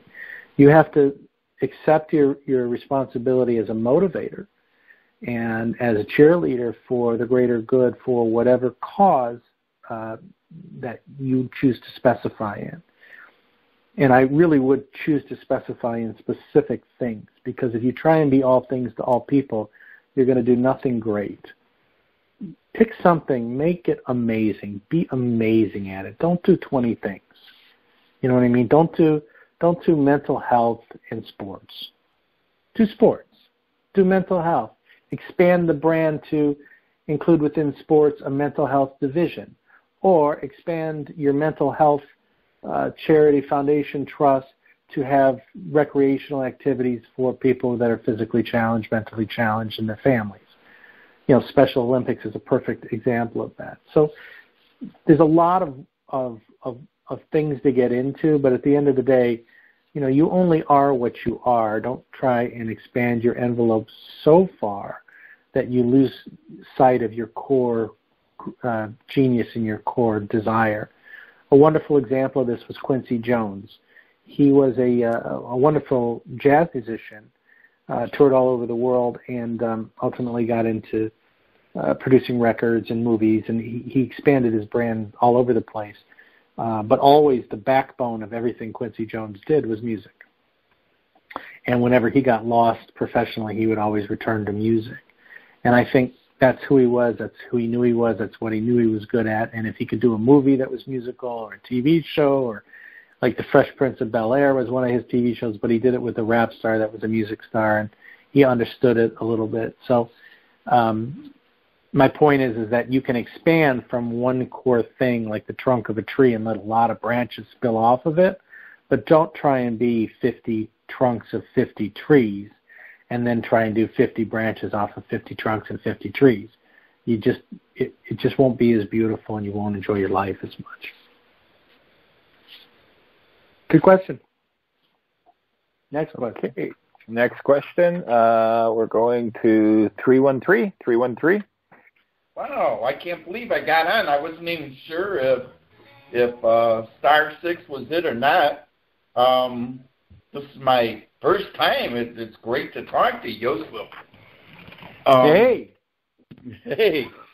So um, anyhow, this is Motown, and um, Wayne County. Huh. Are we in Wayne County? Where are we? Yeah, Wayne County. Uh huh. Motown. What city? Detroit. What city? What city? In the city? The actual city. I live no. I live outside the city. What's what city? I know Detroit pretty good. What city? Oh, Allen Park. Allen Park, Michigan, downriver, yeah. right? Yeah, downriver. Yeah. Are you from you know McLouth, you know, you know huh? McLouth Steel Mill? Yeah. Yeah. You know, you better get a good look at it because it's coming down. No kidding. Wow. What are they going to do? We'll see. We'll see. We'll see. I don't want to get into it, but I just want to let you know that I'm I'm a big fan of the downriver area and it needs a lot of help and I've made some commitments to it. So, is that right? Are you from this area? Well, I've, I've been in the area. I, I, downriver is a very uh, um, it's got some deep environmental issues downriver because of the refineries mm-hmm. and and uh, a lot of the coal burning and and um, in the river. So it, uh, it it's very important we clean up downriver for the entire uh, Great Lakes region, just as mm-hmm. an environmental hazard. And um, mm-hmm. and Allen Park's a lovely lovely city. Don't they have a really good uh, Italian restaurant in Allen Park? Like an old school Italian restaurant we went to. Yeah, you're what thinking of um, Moro's. Yes. Yeah. That was good. yeah, Moro's is a good place. I eat there often. All right. All right. All right. What do you got for me, sir? Um, so you're saying the Zim, the sovereign rate is going to be like eight thousand one hundred twenty-five dollars? I'm not. I'm not telling you what it is. I'm just telling you what's on the screen at the bank. Okay, uh-huh. at a Wells Fargo bank in the continental United States, at an exchange center, it's eighty-one twenty-five as of two hours ago. It's unbelievable. Like, well, it's not. Let me tell you why it's not. That's what the new financial monetary authority has audited the nation of Zimbabwe and determined their value is in relationship to all other nations' in ground assets. That's just what it's worth. If I go to a car lot and I see that Chevy out there, and I say, "Wow, that's a, that's a nice looking Chevy," and you say, "Yeah, it is. It's custom and uh, it's got some really you know monstrous uh, horsepower under the hood and dual exhaust, and it's got some high power brakes, and it's got a bunch of aftermarket parts on it." and you say it's worth eight thousand one hundred and twenty five dollars i'm like but that's just a regular stock chevy from two thousand and you're like no no no no it's a lot more than that and that's what it's worth. And that really is what it the car is worth. So what's the difference with zimbabwe? It looks like it's a it's a mess right? Yeah. They got no currency they got the country's in shambles most of the people are farmers uh that aren't farming. I mean, it's it's a mess. But what the powers that be know is the actual in-ground assets of Zimbabwe, including some of the oldest gold mines in the world, are so valuable, and they've kept it so hidden and so low that it's now time to not only make the Western world pay for all the, the violence and lies that they did financially to the third world countries, but it's time to bring some of those quote unquote third world countries up to what their true value is on the monetary playing field. And so think of it like an iceberg. And the tip of the iceberg, right, it's always been the Western world. And this is this is this is the greatness of the Western world. Underneath was all this hidden value. Well now that iceberg is completely flipped and all the value is above the water and the Western worlds are now below the water. Unbelievable. That is just what it is. It's it's it's you can say it's unbelievable, but if you did the math and I showed you the auditing, you'd be oh, like, I, "Oh, I get it. Okay, that makes sense. Oh, That's I why totally this is that." Yeah, it's just hard for us in the West to to think of a Zimbabwe or a Vietnam or an Indonesia as being that valuable. Are they going to be the Hello? Did I lose them? Oh, oh, hello. Yep. Yeah. I got. Oh. Okay, go ahead. Oh, I said, are they going to be the wealthiest nation of the world then? Uh, maybe. Certainly, Africa will be the wealthiest, wealthiest continent. Yeah. Uh huh. Yeah. Wow. And what what was the rate on the dong? And the 124, 128, 128 was the sovereign rate. Was sovereign rate? That's for the dong. Mm-hmm. And uh, dinar was that the same? 221 for the dinar. Oh, okay. Um, Same for the rial. And rial. So you think we might be going in tomorrow then, huh? Uh, I'm on the phone call right now, prepared to go in tonight. Oh, so you think we're going to get the 800 numbers tonight? I'm not doing this for my health. Oh my God! Thank you, Joseph. I'm just I'm just trying to be ready, sir. I'm, I I don't. I have ranges. I, I get a lot of times and dates, but nobody's ever right about the times and dates, and especially me. So I stopped kind of prognosticating that. But uh, but if I just look at the structure of things, you know, the World Court has gone. The the uh, Asian elders have released the global collateral accounts. The new currency sitting in the banks now. The securities at a high alert, and um, we know the um, ceasefire in Aleppo ends at noon today, and this is the last evening to launch the uh, Zim in the darkness, which I always felt would come between 2 and 4 a.m. because that's the slowest internet time. Yeah, and it's also the safest time to travel. But what do I know? Good question. Thank you. Sorry, next caller. Here. Yep. Yeah, I'm right here. Okay, I was muted. I forgot to unmute myself. Uh, next question, 707.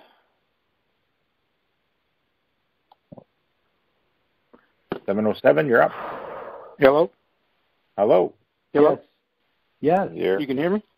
Yes, we can. Oh, okay, great. How you doing, Joseph? I'm so good there should be 10 of me. What's that? I'm so good there should be 10 of me. Yeah, it probably is. You just don't know it yet.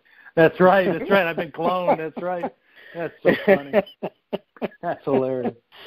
What's your Yeah, question? sir? hopefully someday I'll meet you in Hawaii. hopefully, that's hopefully where my I will heart be and seeing. soul is going to be. All right. Well, I will be out there. No doubt about it. My heart and soul is there too. So I'm right there with you. Yeah, I've been Just another crazy been holiday. blessed. I've been blessed to uh, get out there and meet all my family I had never known all these 60 years. Okay. Can I can I ask you what your question is? Yes. Um, move through the queue. actually, I only have one question, and that was, um, do I have to bring my spouse? Do you like your spouse? No, I love her dearly, but Ah, the thing is love that, um, the thing is that she doesn't believe in this at all. And through Well, the through the two- years we've been married, she's never ever got involved with businesses that I started or something, and Well, she's always been two- that you know Yeah, I hear you. I uh, trust me, I've got one too. So let me No, let me offer some let me let, let me offer some perspective on spouses for everybody. And thank you for your question. Spouses. Uh can't live with them, can't live without them. No, that's not it. Spouses. Uh, they can be your best adver- uh, advocate and your worst adversary because they know you better than anybody else. So here's the deal not everybody spiritually was called to the RV in the same way perhaps you were.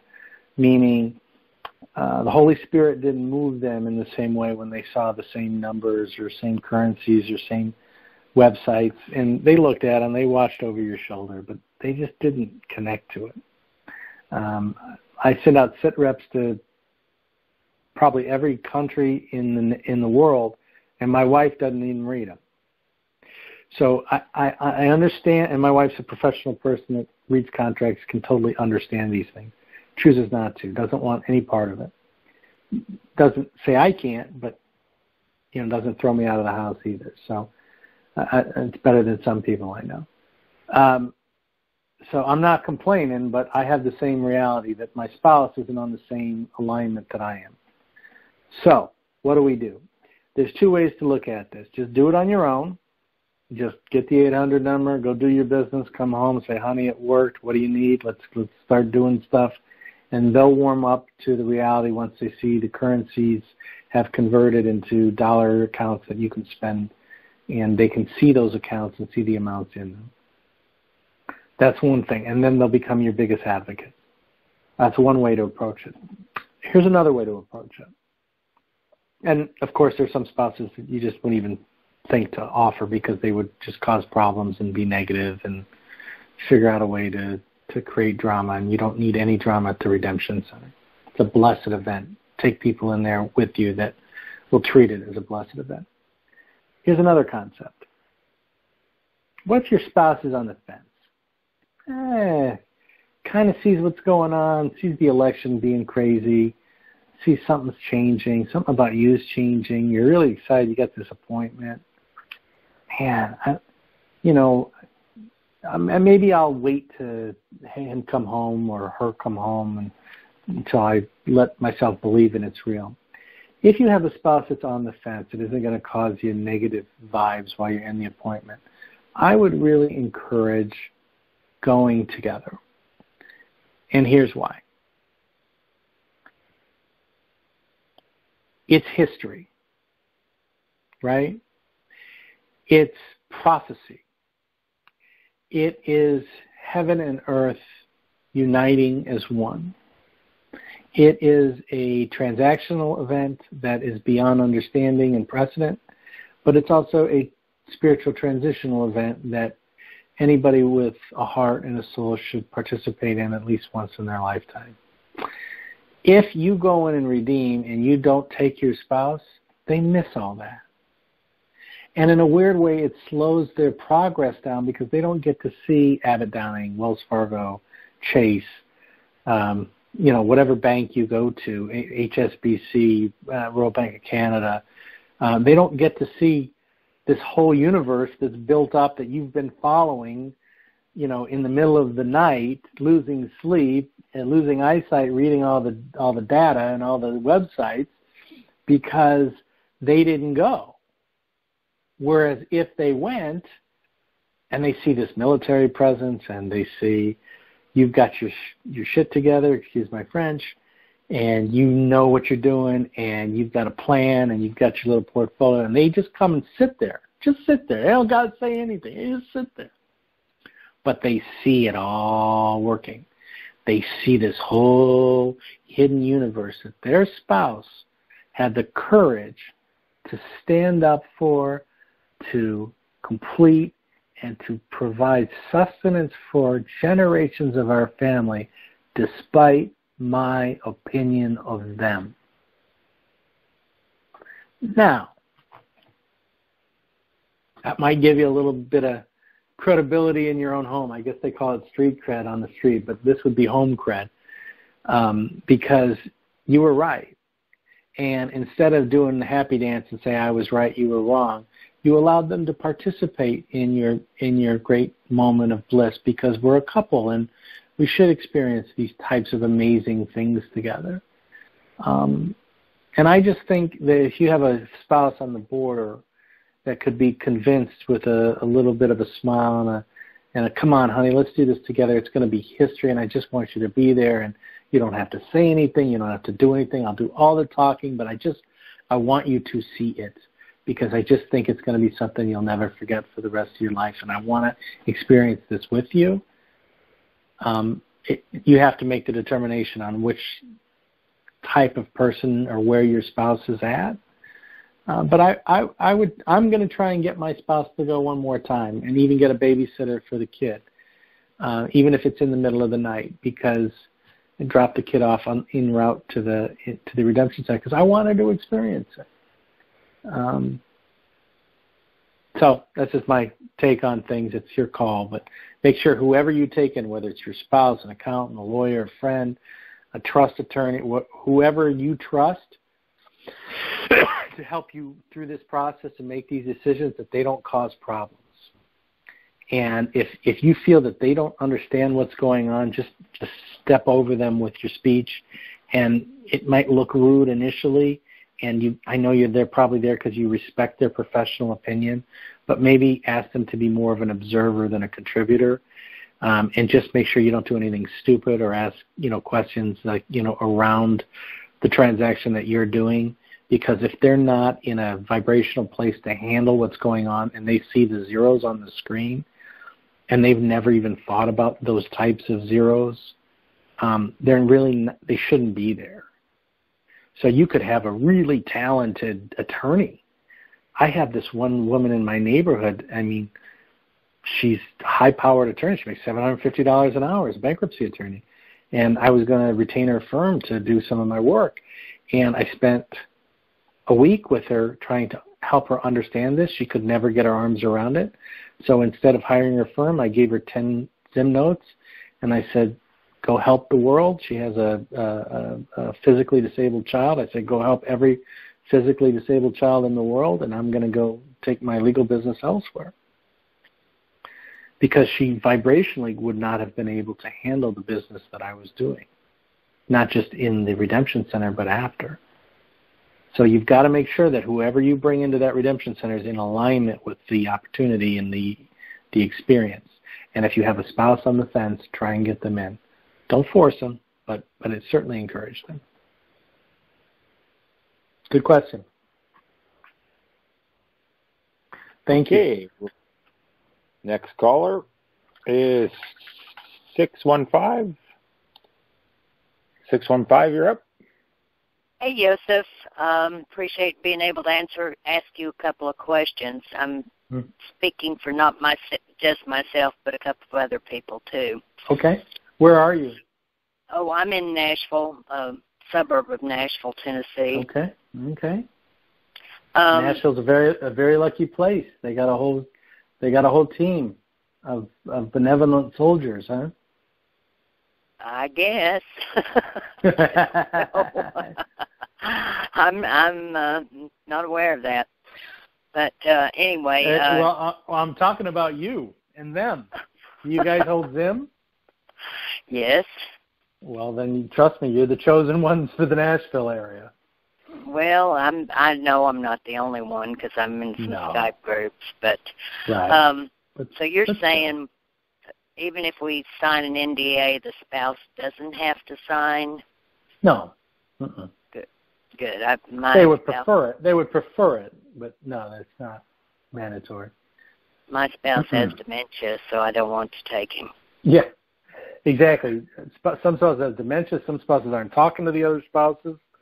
Mm-hmm. Uh, some spouses are out of the country. Some spouses are traveling. Some spouses are getting their their uh, tonsils out tomorrow. You know what I mean? Like yeah. it could be a variety of things. So they have to treat it on a one-on-one basis. Every individual okay. currency holder. They will ask at the time of you setting your appointment whether your spouse or anybody else will be coming with you. Okay. And that's the time to reveal that if you're going to bring I, somebody. I have a friend that has a power of attorney mm-hmm. uh, for a gentleman who is in Zimbabwe at the moment, uh-huh. digging water wells. Oh, But anyway, she has some Zim, but he has, from what I understand, a humongous amount. okay. that he brought back the last time he was over there. Sure, so sure, he sure. didn't buy it; they just gave it to him. It was no good, you know. Right, right. How great is that, huh? um, will she be able to sign an NDA for him with the power of attorney? Does she have Zim herself? Yes. Okay. That he Well, gave would her. Okay, yeah, but still, it's hers, right? So it's hers Uh, to do with it is hers, wants. yes. Uh-huh. What I would do is I would call and set up my appointment for myself, and I would say I have Zim, and get in there quickly. And then while I was in there, I would say I also hold the power of attorney for somebody in Zimbabwe to help cash them out. Is that something I can do here at the time of this redemption appointment, or do I have to set another one, or does he have to come back? And um, don't let the call center people answer that because um, Oh, okay. they're just there to set the appointment. Let the attorneys and the uh, the bankers answer that while she's sitting there at her own redemption meeting. Now, so if needs, I'm a she bank, she needs what's to that? take his Zim with her then. I would take all the Zim and I would take all the documentation and bring it all in because if I'm a banker and I see that Zim sitting there and they've got a real power of attorney document and they put it in this guy's name um, and you do it legally, I, I, I might take that chance. So I'm sure that's come up for powers of attorney because there's going to be a lot of people with power of attorney that. What if you bought Zim and you got in a car crash and you can't physically go in, but you sign over your power of attorney for somebody else to go redeem your Zim? It's the same thing, right? Same thing. So we're going to have a lot of those issues. That they they're very trained to work through all of that, and I don't know how what their internal protocol is, but just know that they know. So ask your questions early and bring it in, and just be honest. And if you if they can't do it, they'll tell the guy to come back, and maybe he can set an appointment while you're at the uh, existing exchange so that he can qualify for sovereign rates when he gets back, or you can tell him to make a phone call from Zimbabwe to set the appointment for two or three weeks when he gets back, and that would give him time to travel, and you'd still hold on to his Zim and protect it.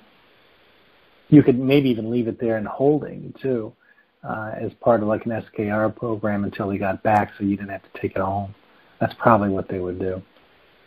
So, I, but again, I'm just speculating. I don't know. I, I don't know what their internal protocol is. Go Nashville. okay, next caller, seven two seven. Seven two seven, you're up. Seven two seven. Hello. Okay, next one then. Uh, 410, 410, you're up. Hi, can you hear me? Yes, yes we can. Hi, hi, hi, everyone. Hi, Joseph. It's nice to hear you again. Oh, thank you. I, I'm calling from Annapolis, Maryland. Oh, yes. What is what's the what's the military base in Annapolis? What's the the school? Oh, the U.S. United States Naval Academy. Yes, the Naval Academy. What a beautiful have, city, Annapolis. Yeah, yeah, we have lots of lots of crabs. okay. Anyway, I have a quick question. Um, I believe you may have answered it already, but mm-hmm. I I want to ask if you could comment um, is um, if, whether I have an option. My daughter, I have three daughters, and myself. We have all have them and um, we'd like to go in to exchange as a family group because we want to create a business and uh, you know a foundation that would be an umbrella under which we would set up and uh, administer humanitarian projects. So that's my question. Uh-huh. Okay. Can we go in so, as a group? well, you group? can ask. You can ask. I would ask. Um, but even if you even if they don't allow the number, how many people in your group? Uh, be four. Uh, if you're all family, maybe I don't. I I don't know. That's something for the call center to respond to and uh, and them to decide. I I don't know all their internal protocols for number of people or professionals. I I, I only know of uh, the Redeemer plus two. Okay. Okay. Which could be a spouse or a professional or whatever. Um, okay. So I don't know if it's plus three if that's allowable. What I do know is this: you can start the process and get everything transferred into, um, you know, skeleton trusts and charitable trusts and personal monies, and then set up an appointment two to six days after the initial exchange with the entire family, and that would be the place to do that type of um, structuring for uh, okay. uh, not just uh, your foundation, but your trust and everything like that. Under that scenario, though, uh, I one person would have to carry uh, at least go in initially with all of the Zim, Why? so that we we would get in under that 24 hour, 48 hour. No, uh, no, no, no, no. You'll you'll have time. You can split it up if you want to, and go in in four different caravans, okay. or two, di- or you could do two different caravans and do two and two. So what I'm hearing you say then is that we have to make the phone call and make an up within right. It's just the phone 48 call. Hours. It's not the it's not the appointment. It's just the phone call, and you'll have plenty of time to do that. You know, in terms of Zim holders, everybody's so freaked out about not making it, you know, in time. Just just know this: good news travels fast, and great news travels really fast, and incredible, super duper prophetic news travels at the speed of God you'll know those 800 numbers are out in the first 10 minutes that they're out. Your email, your text, your your websites, everything will, your Twitter, everything will light up. Okay, uh, and your daughters or yourself, um, you, you know, you won't see a, a, a morning if it happens in the middle of the night without knowing the 800 numbers are out. So I wouldn't worry too much about that.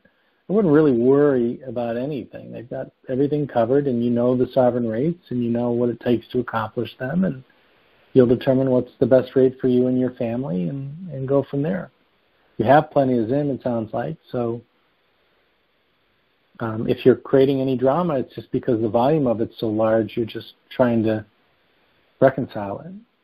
Uh, when the best thing to do with the Zim is just take your hands off of it and enjoy the process and just know that God will place you with the right people and the right redemption center and the right call center person and the right trustee attorney and the right banker and the right rate and you'll have a beautiful loving experience and you'll be in and out and having breakfast and cracking up and how easy it was and how much worry you put into it all these years and it'll be a hoot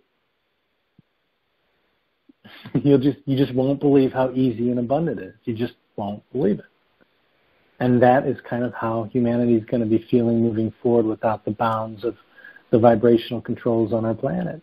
We're just going to be able to function and operate so abundantly and so freely, just people constantly be waiting for the other shoe to drop.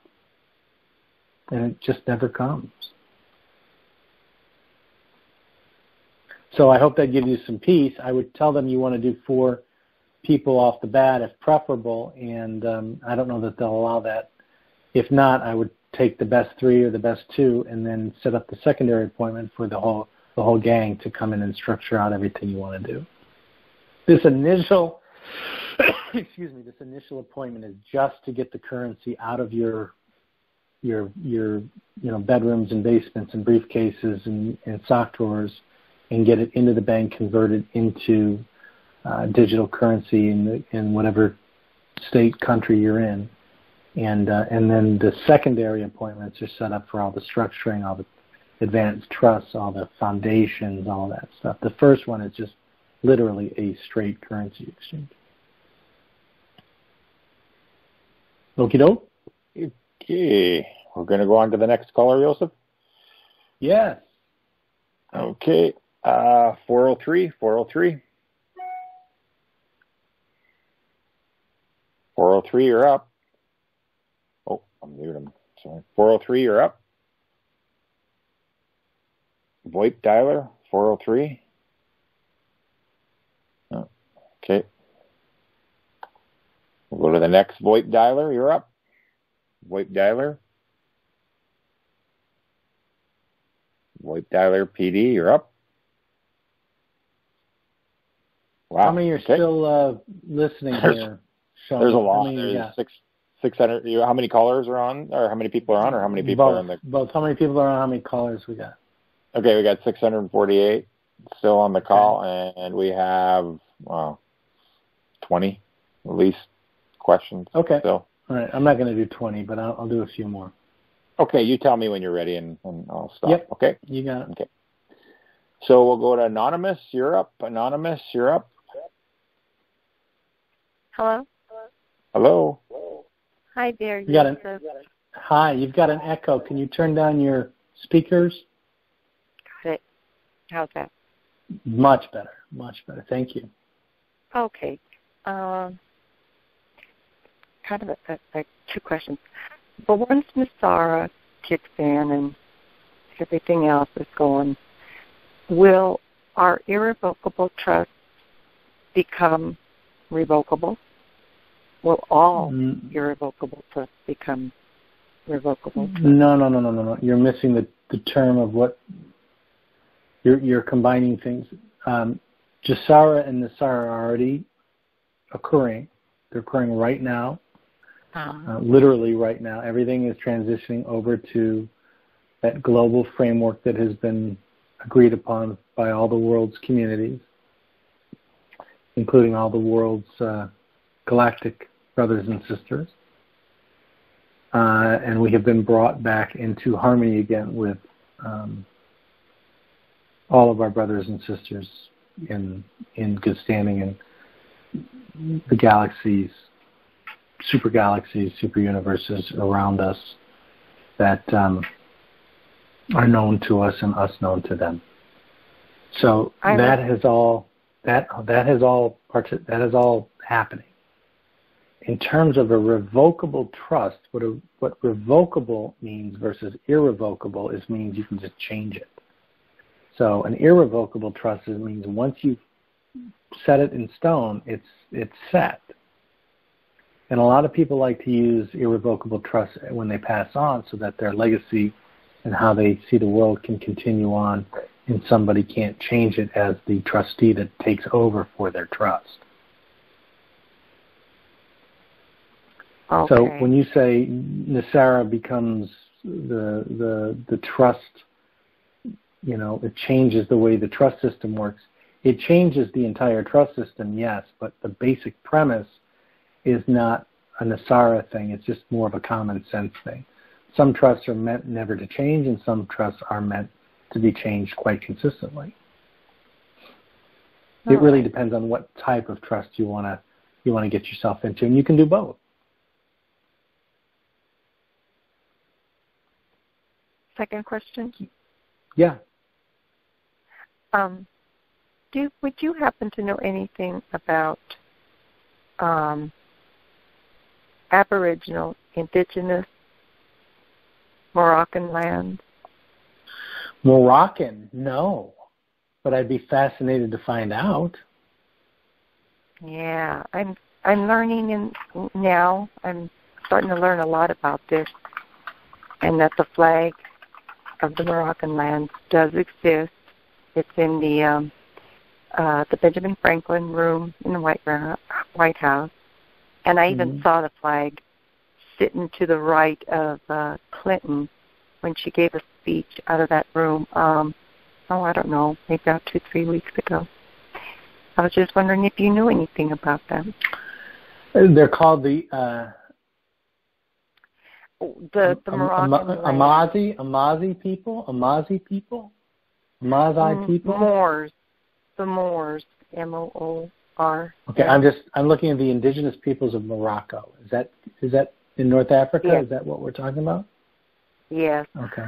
Well, I understand it goes even further. It covers more land, more continents. Okay. No, I really don't know about that. And while it's a wonderful question, I think let's stick to some financial stuff before the RV and kind of maybe right. put this uh, put a pin in it for another time. It's a great great question. Yeah, yeah. I just was curious. You know, you're doing work for the Hawaiian folks, and I wondered mhm, if you happen to know about them. hmm And the All right, Filipinos. sir. Mhm. Mhm. Okay. Thank you so much. Thank you. Okay. God bless. God bless. Boy, Okay, Moro- Drew- uh, Mo- Morocco indigenous people show me. I mean, that's a toughie. yeah. yeah. Hey, brother. 305. Yeah, Canes. It's Canes. Hey, bro. Hey, man. I fell asleep. I woke up and you're still here. Amazing. Yeah. Amazing. Amazing. How can I help you, Mr. Mr. Hurricane? rough night. We lost bad again. No, it's okay. It's just sports. Um, oh yeah, believe me, with this news, uh, no problem with that. It's just sports. Yes, exactly. Believe me, uh, I don't want to take a contest of who needs this the most, but I don't want to get personal and list what I have on my plate. Awesome. Thank you for not doing that typing. because we all have a lot of things on our plate. What's your Um, question? I'm besides the rates. That's you know, Mhm. I'm fascinated when this is done. Who is right and who is wrong? I In mean, terms the of what? the abuse you get on the sites about NESARA and the uh, SITREP reports, and um, Yeah. Yeah. yeah. Well, I mean, I mean, you can you can come out and speak the cold hard truth, and I mean, you're going to get stoned most of the time. I mean, it's just it's just what it is. You know, that's how deep people are in the matrix. Not only do they they verbally defend it, you know, the status quo, but they physically fight you on change. So yeah, I'm quite used to this. I've been I've been dealing with this for ten years now, long before I ever got. I've only been in and around the currencies for two years. I was doing historic bonds and sovereign assets and gold and the global collateral accounts and commercial paper and trade and I mean everything you could think of standby letters of credit. I mean I'm very well versed in this world, but what I'm not used to is getting smoked um, personally and professionally by ge- offering people free information that I'm not asking anything for.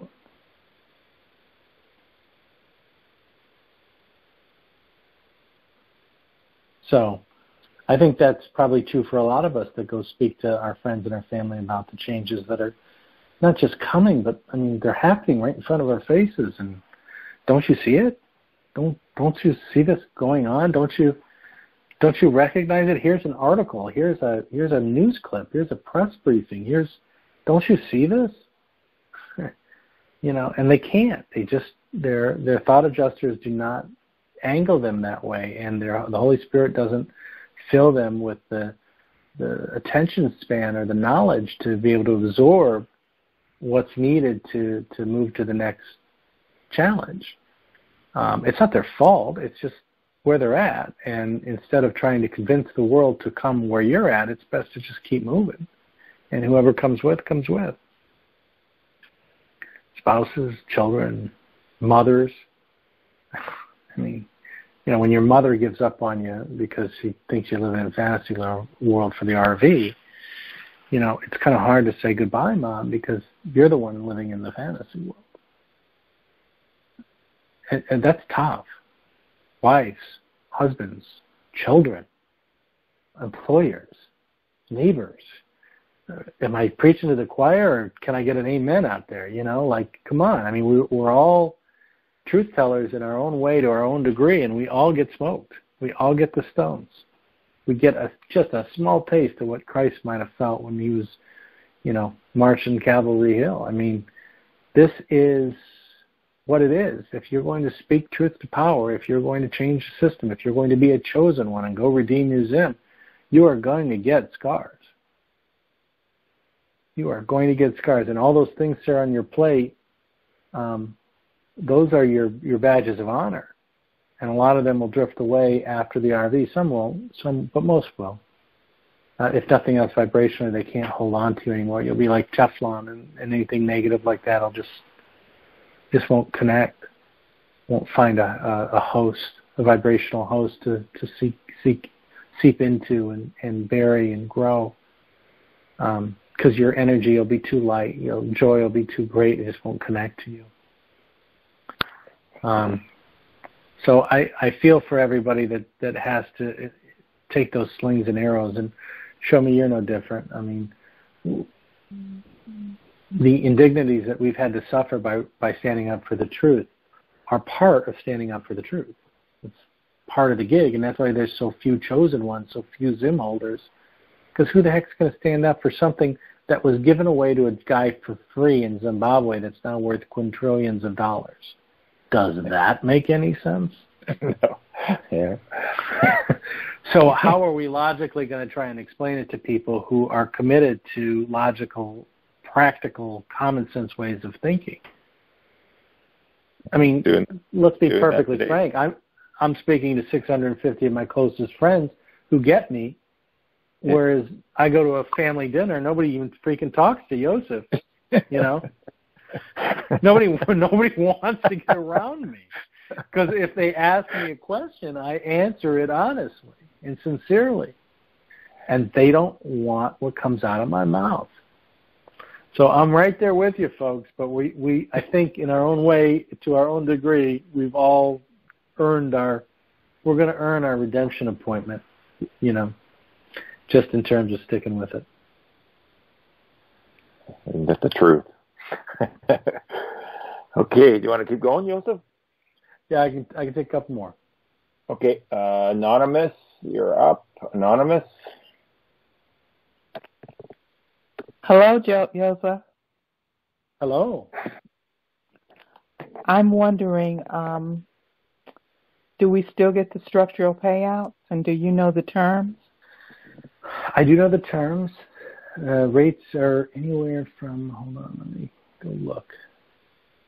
Last rates that I have on terms for the structured payouts, they start anywhere from two years to 50 years which would be 24 months. Actually, I've heard some at 18 months. If you choose a structured payout, you don't have to.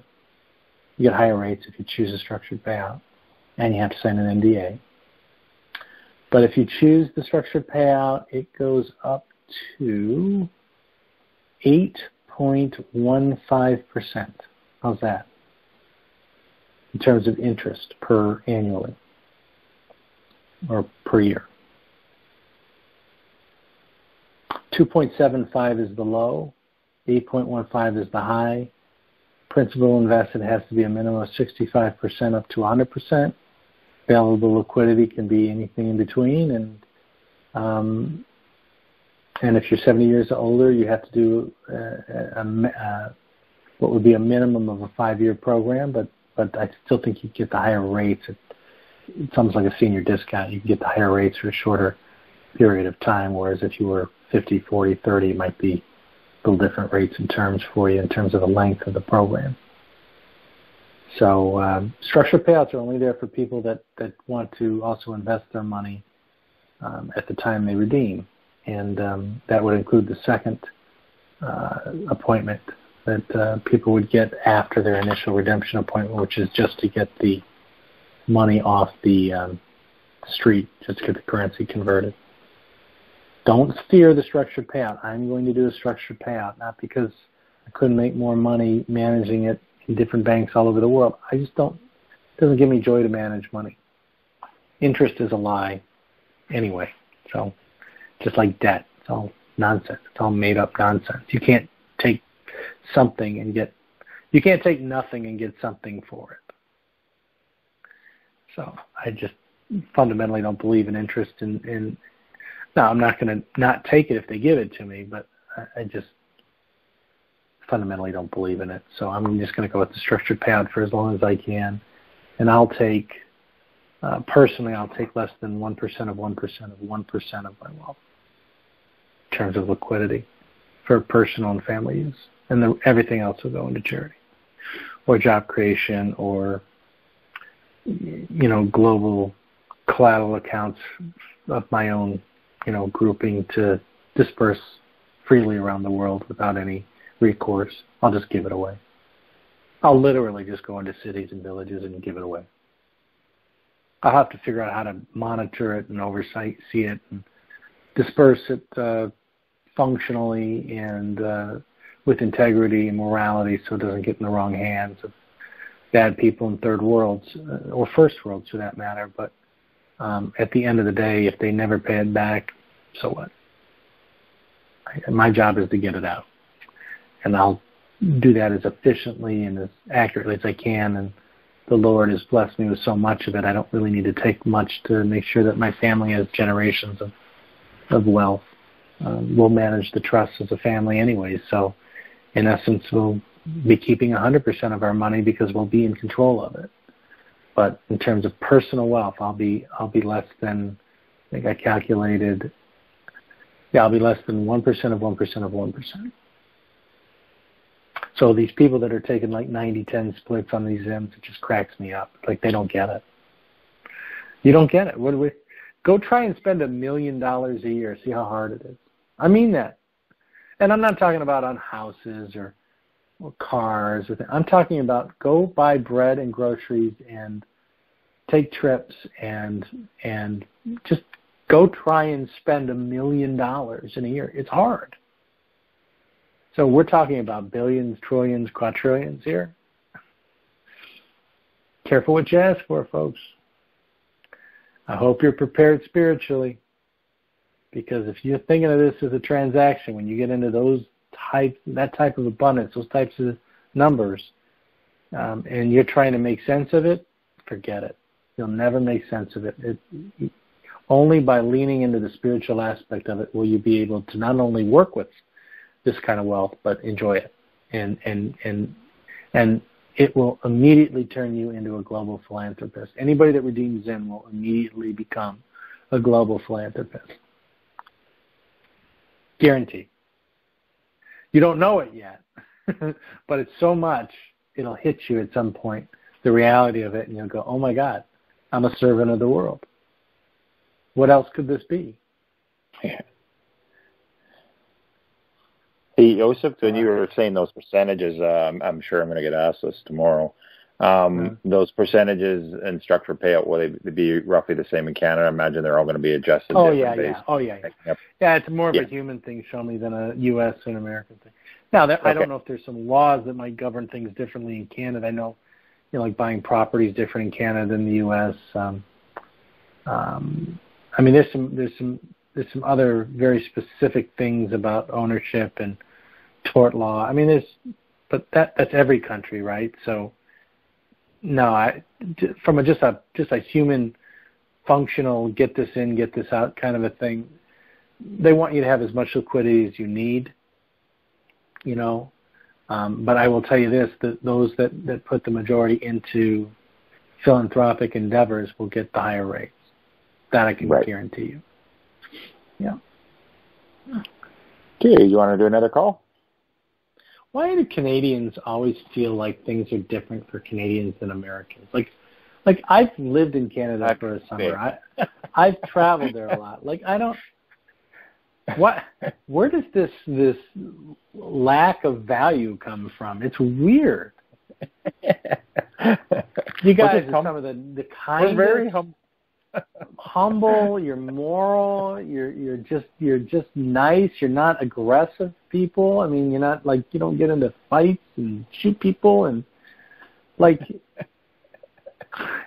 you live in such a beautiful you know part of the world. I know it's cold, but it's still beautiful. I mean, it, it's just I just don't I don't get where the uh, the lack of dignity comes in from the, the the the second fiddle I mean, your raw assets in Canada are stunning compared to ours.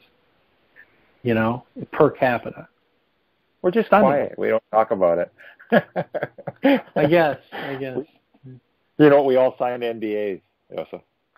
Yeah, you you sign NDAs before you even redeem anything. You just just to be a Canadian, you sign an NDA.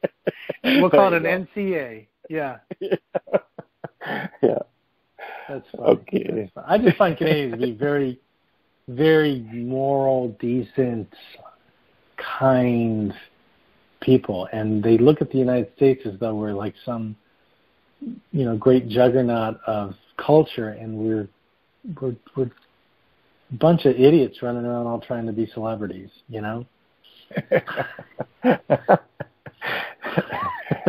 it's amazing yeah, you look up to us. yeah. anyway. Enough about okay. enough about Canada. enough about Canada. Yeah.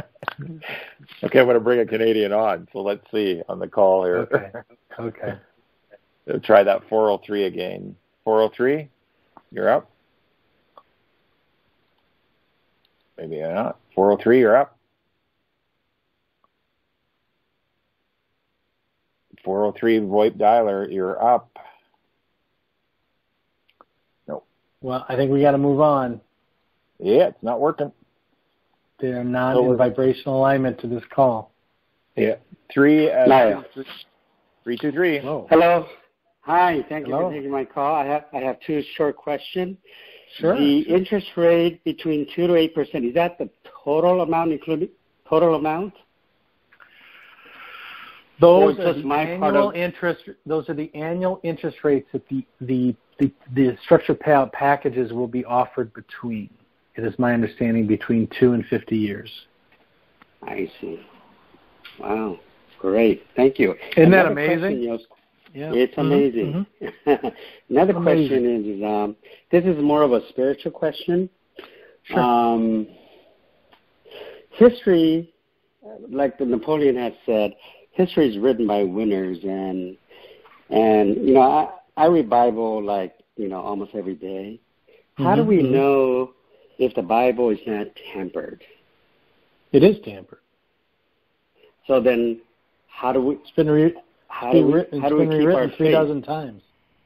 Right. Well, let's let's let's look at. How do we know what this. to believe then? Yes. It, because God is within you, and as long as you just stay in concert with God and you and you keep the dialogue going between yourself and God, and when you talk to God, you're in a form surrendering, right? You're acknowledging yes. that God is within you and God is all. And so when you have conversations with God, He will speak to you and He will discern your judgment on what is true and what is not just by listening to Him. So regardless of what's on the page or what's in the book or what really happened in the life of Christ and and the times of, of uh, Abraham and Moses and Noah, I mean, it's it's best to look at everything. And I'm not saying there's not eternal truths in the Bible. That's not what I'm saying. But it's also been rewritten by every conquering leader that's ever you know had a crusade. So um, both are true. You have both light and dark in the Bible, right? Mm-hmm. And everything's been angled. Even the colors and the picturing, the the how Jesus is painted has been changed over time and lightened and almost like Michael Jackson, you know. He got lighter and lighter and lighter the the longer it went. Um, so my point is this: try and look at everything as Christ would look at it. There was no Bible when Christ was here. There was no Christianity when Christ was here. There was God or not God in, from the eyes of Christ. And I think if you look at things in those terms, um, you'll get the truth. You'll get to the answer. And you can look at the Bible as God or not God and see the will of God in it just by your own discernment mechanism. Now, you got to work at it, it's a muscle. Um, but if you're in a constant discussion, conversation with God, and you're in a perpetual surrender, um, you will be shown the truth. And it will jump out at you. Mm. And that is not, something you uh, can learn from a book or you can even learn from somebody else. That is a daily spiritual practice between you and God, regardless of your faith, whether you're you know, a Muslim or a Christian or a Hebrew or a Buddhist. It, it doesn't matter. God is all, and He He sees all, and He is all, and He knows all, and He's willing to share that with you if you're willing to surrender to His His word over yours. But to do that, you got to be quiet. That's what meditation is for. How many how many people go on a walk with God for half an hour a day? Just God, what's going on? Here's what I'm feeling. Talk to me, show me, help me. Where do where do you want me to go with this? What do you want me to do? What do you want me to do with my child? What do you want me to do with the car? What do you want me to do with this house? What do you want me to do with this relationship? What do you want me to do with this job offer? What, what do you want me to do with my eating problems? What like what do you want me to do? Surrender, surrender, surrender, surrender, surrender. It's amazing how intelligent you get. You get your own talk show in the middle of the night. Right. If you want to know why, I, uh, if you want to know why people are listening to me, sir, and not somebody else, it's because I have made a perpetual surrender to God. I, I, I work on it every day. Every day I t- try and take a walk with God. Every day I try and spend time with Him. Every day I ask, and and it, all through the day I ask, like God, what's that? What's that all about? Why is that show on TV? What, what, and if I read Bible passages, I'm like, you know, show me the truth in this. Show me how you want me to understand it and what the truth of it is versus the way it is explained to me on the page. And it's amazing the the um, the information you get. It's amazing half the people don't understand the sit reps because they don't they don't understand that some of it doesn't really come from man. It's all pieced together sometimes from things that I'm told to look at.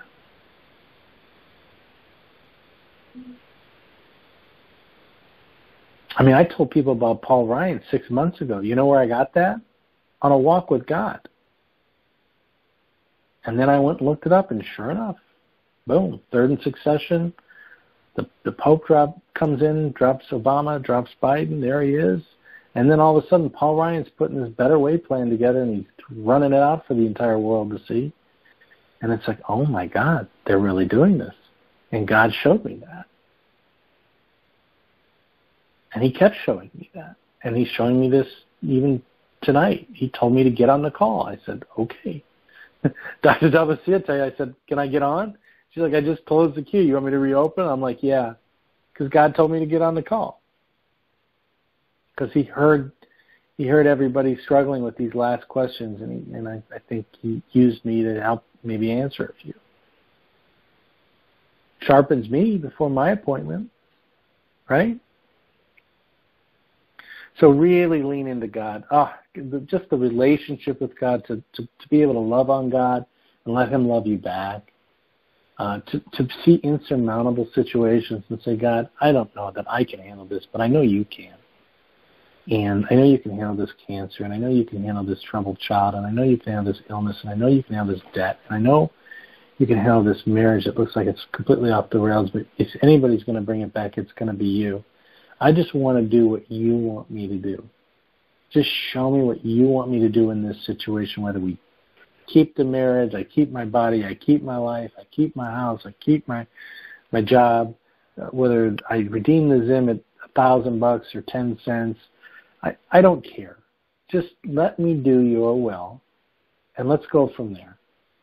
Because my will doesn't get me anywhere. And your will is heavenly and, and I, I want to live heaven on earth and I want to live as Christ lived with you on the earth with that perfect connection to his Father, to his Creator on the earth. I, I want to live like that. And I'm not always there every second of every day, but every once in a while, man, I touch it, and wow, just it's. I don't need your money. I don't need your RV. I don't need your redemption centers. I mean, I know, I know God. I know Him. He's in me. I know Him. That's enough. If I get nothing else in this lifetime, in this experience of being human, that's enough.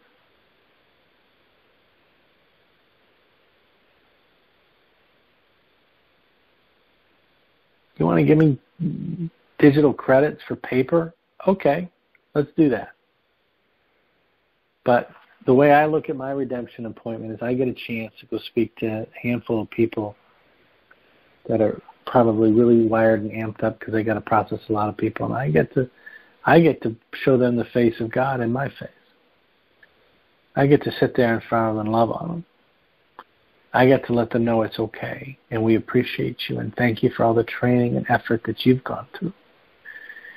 Thank you for all the all the late nights and all the time away from your family so that you could be here for that moment when we needed to be here. I know I'll get the rate I'm supposed to get. I know everything will work out. I know I'm supposed to, I'll, I'll accomplish what I'm supposed to accomplish after the RV.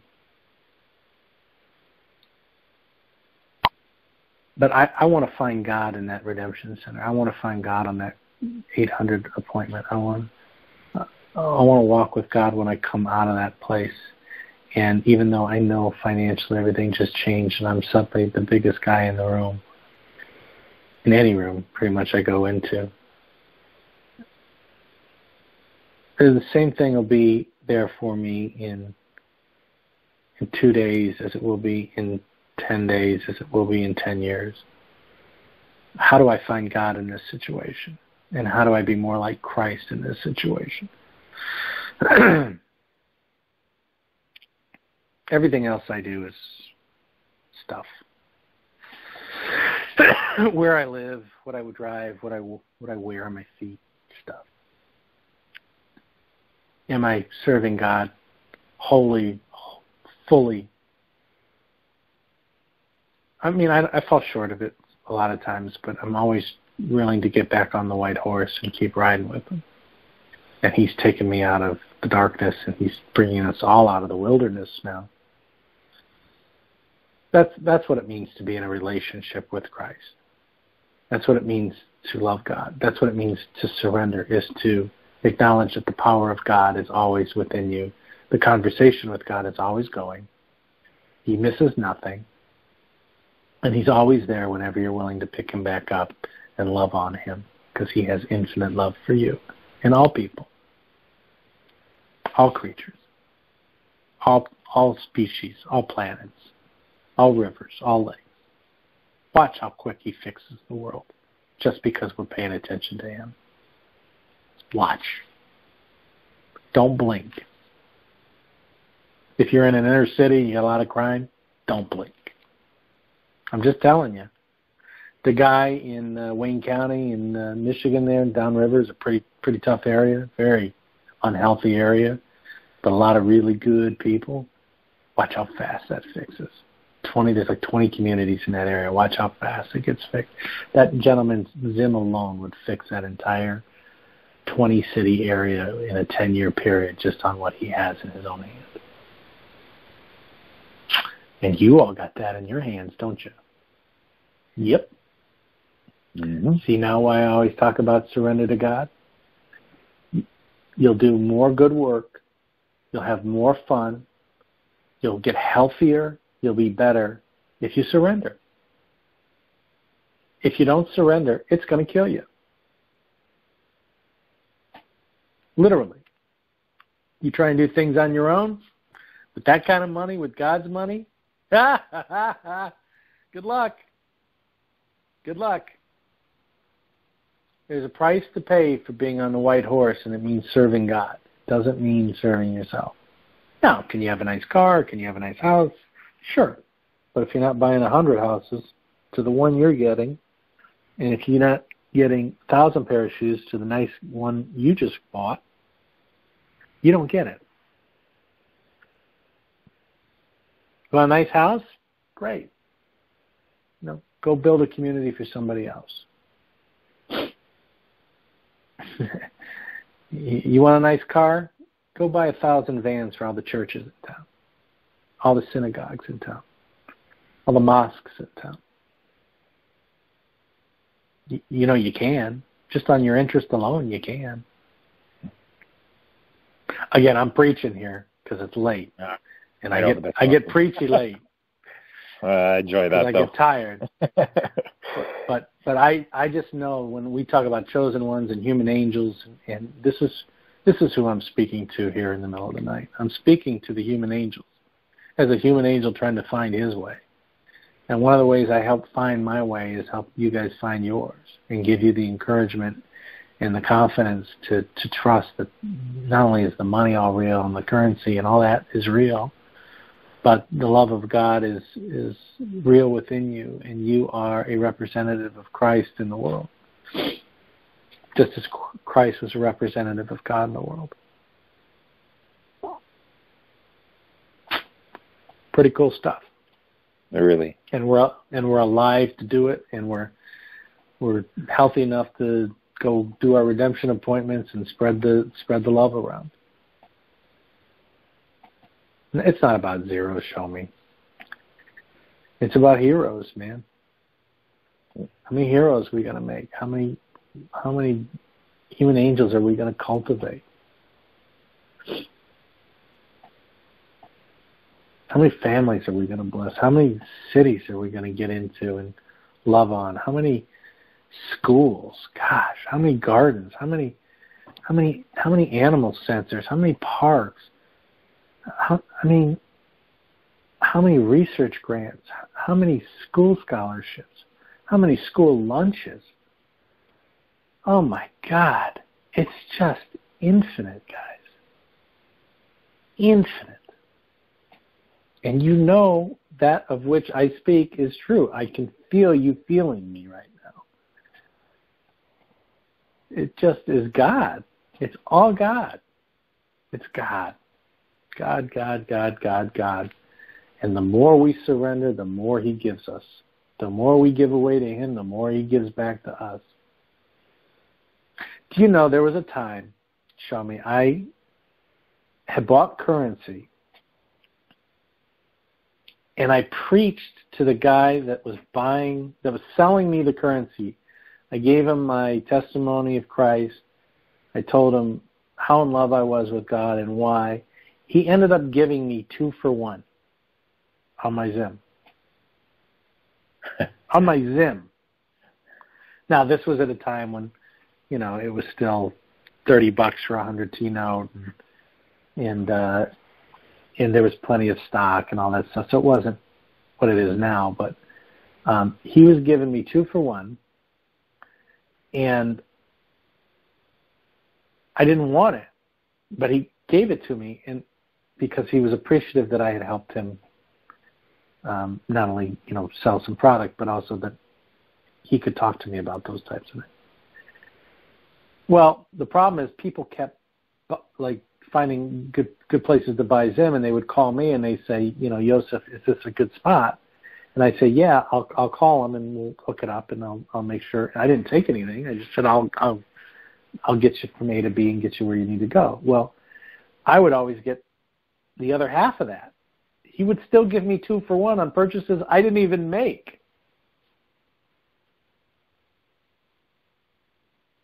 So all the Zim that I ended up buying, I ended up giving away the half that was given to me just because I didn't pay for it. I I ran out of people to give Zim to at some point, and then I started to giving it to institutions and cities and caretakers and tr- like it got weird. All because I shared the love of God with somebody and it multiplied. That's all. And I know people think that's an unusual situation and we'll never be in a position where you can buy infinite amounts of money, but it wasn't the point to me. It was like because I was innocent and because I was I was loving to another person and showed them kindness and love and listened to them, um, it, it it multiplied. The love multiplied and um, and I think that's a, a, great lesson for all of us here in th- this redemption of this what is it paper currency whatever it is sin debt um, is if we approach things from a loving and sincere and, and innocent place and really be the Lamb of God as Christ was and be the meek of the earth and truly stay in that energy of being the meek and the lamb and the humble of God we have the opportunity to expand our territory beyond measure. And I see so many people, you know, fighting the RV and not really catching, linking into the spiritual aspect of multiplying the love of God out to others. Um, but as you guys get your money and you get your accounts, you're going to quickly realize there is no money. They've given you so many zeros, they're proving a point to you that there is no money. Then what do you got? Then what are you worth? It's your soul. Your soul is what all the cabal was after. It's not the money. It's not your asset. It's not your house. They were after your soul. Because your soul was God, and they were after the destruction of God in any way, shape, or form they could.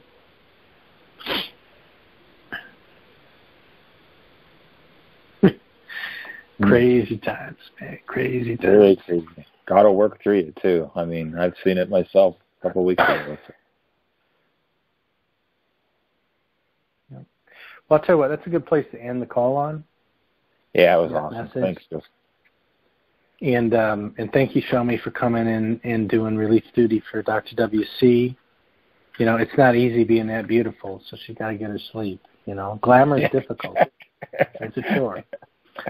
Um, She's a sweetheart and, for the death. So. Yeah, well, she was doing this before there was a Show Me or a Yosef. Let me tell you. It, yeah, for sure. Yeah, she was she was leading the pack long before there was a pack. She she created yeah. the pack, yeah. um, and created you know this movement and and um, and real truth callers out there. You know, we've I've given some of the Zim actually that was given to me to Dr. WC. So, you know, there's there's there's Zim for the entire um, you know, Real Truth Family to do projects if you only had Dong or Dinar, couldn't afford the Zim. We've got it in spades. Just find Dr. WC with a coherent plan of what you want to do, and she'll help you. I think she's on right um, now. Are you on, Dr. WC? No, no, no, no, she's not. Okay. No, she's got that mask on. She got her, she got her like her green face on to get her pores all clean for the next day. She got that sleeping mask on. Yeah, she's out. Um, so uh, enjoy your redemption. Just really come into it with a, a spiritual place and looking to experience and love and share love and give love. Don't stress the rate. Don't stress the structure payout. Don't stress the skeleton trust.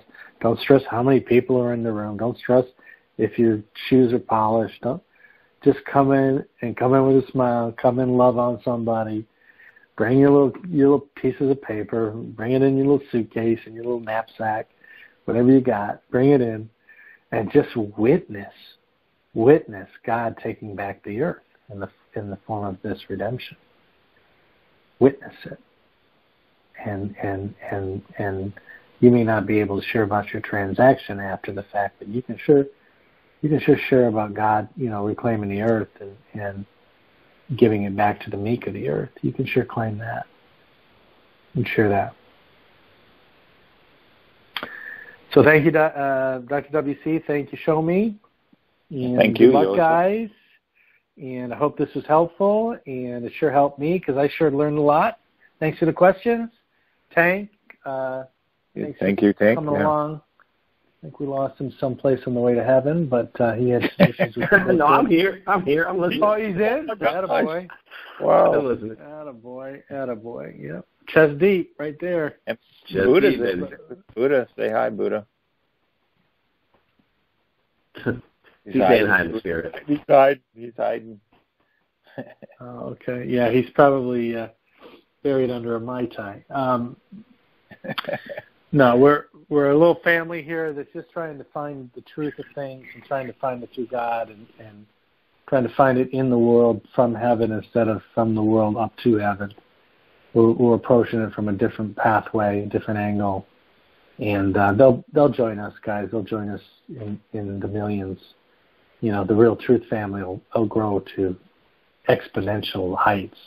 And we'll have the honor of being one of the first that had to suffer through with Dr. WC and before we were well polished and in nice facilities and doing 10 calls and podcasts, right? Um, we'll have been we'll have been on that early early bandwagon to uh, support Dr. WC, support the truth, and certainly support God. So Love everybody very much. Uh, I hope we never do one of these calls again and we can engage in other conversations at a later date that have nothing to do with zero's currency. We don't have to say the word Zimbabwe, Vietnam, or the rupiah again. Preach. So I want to. Can I say something, Joseph? I really want to thank you, you, for coming and doing these calls for us. I want to thank Tank, and I really want to thank Buddha.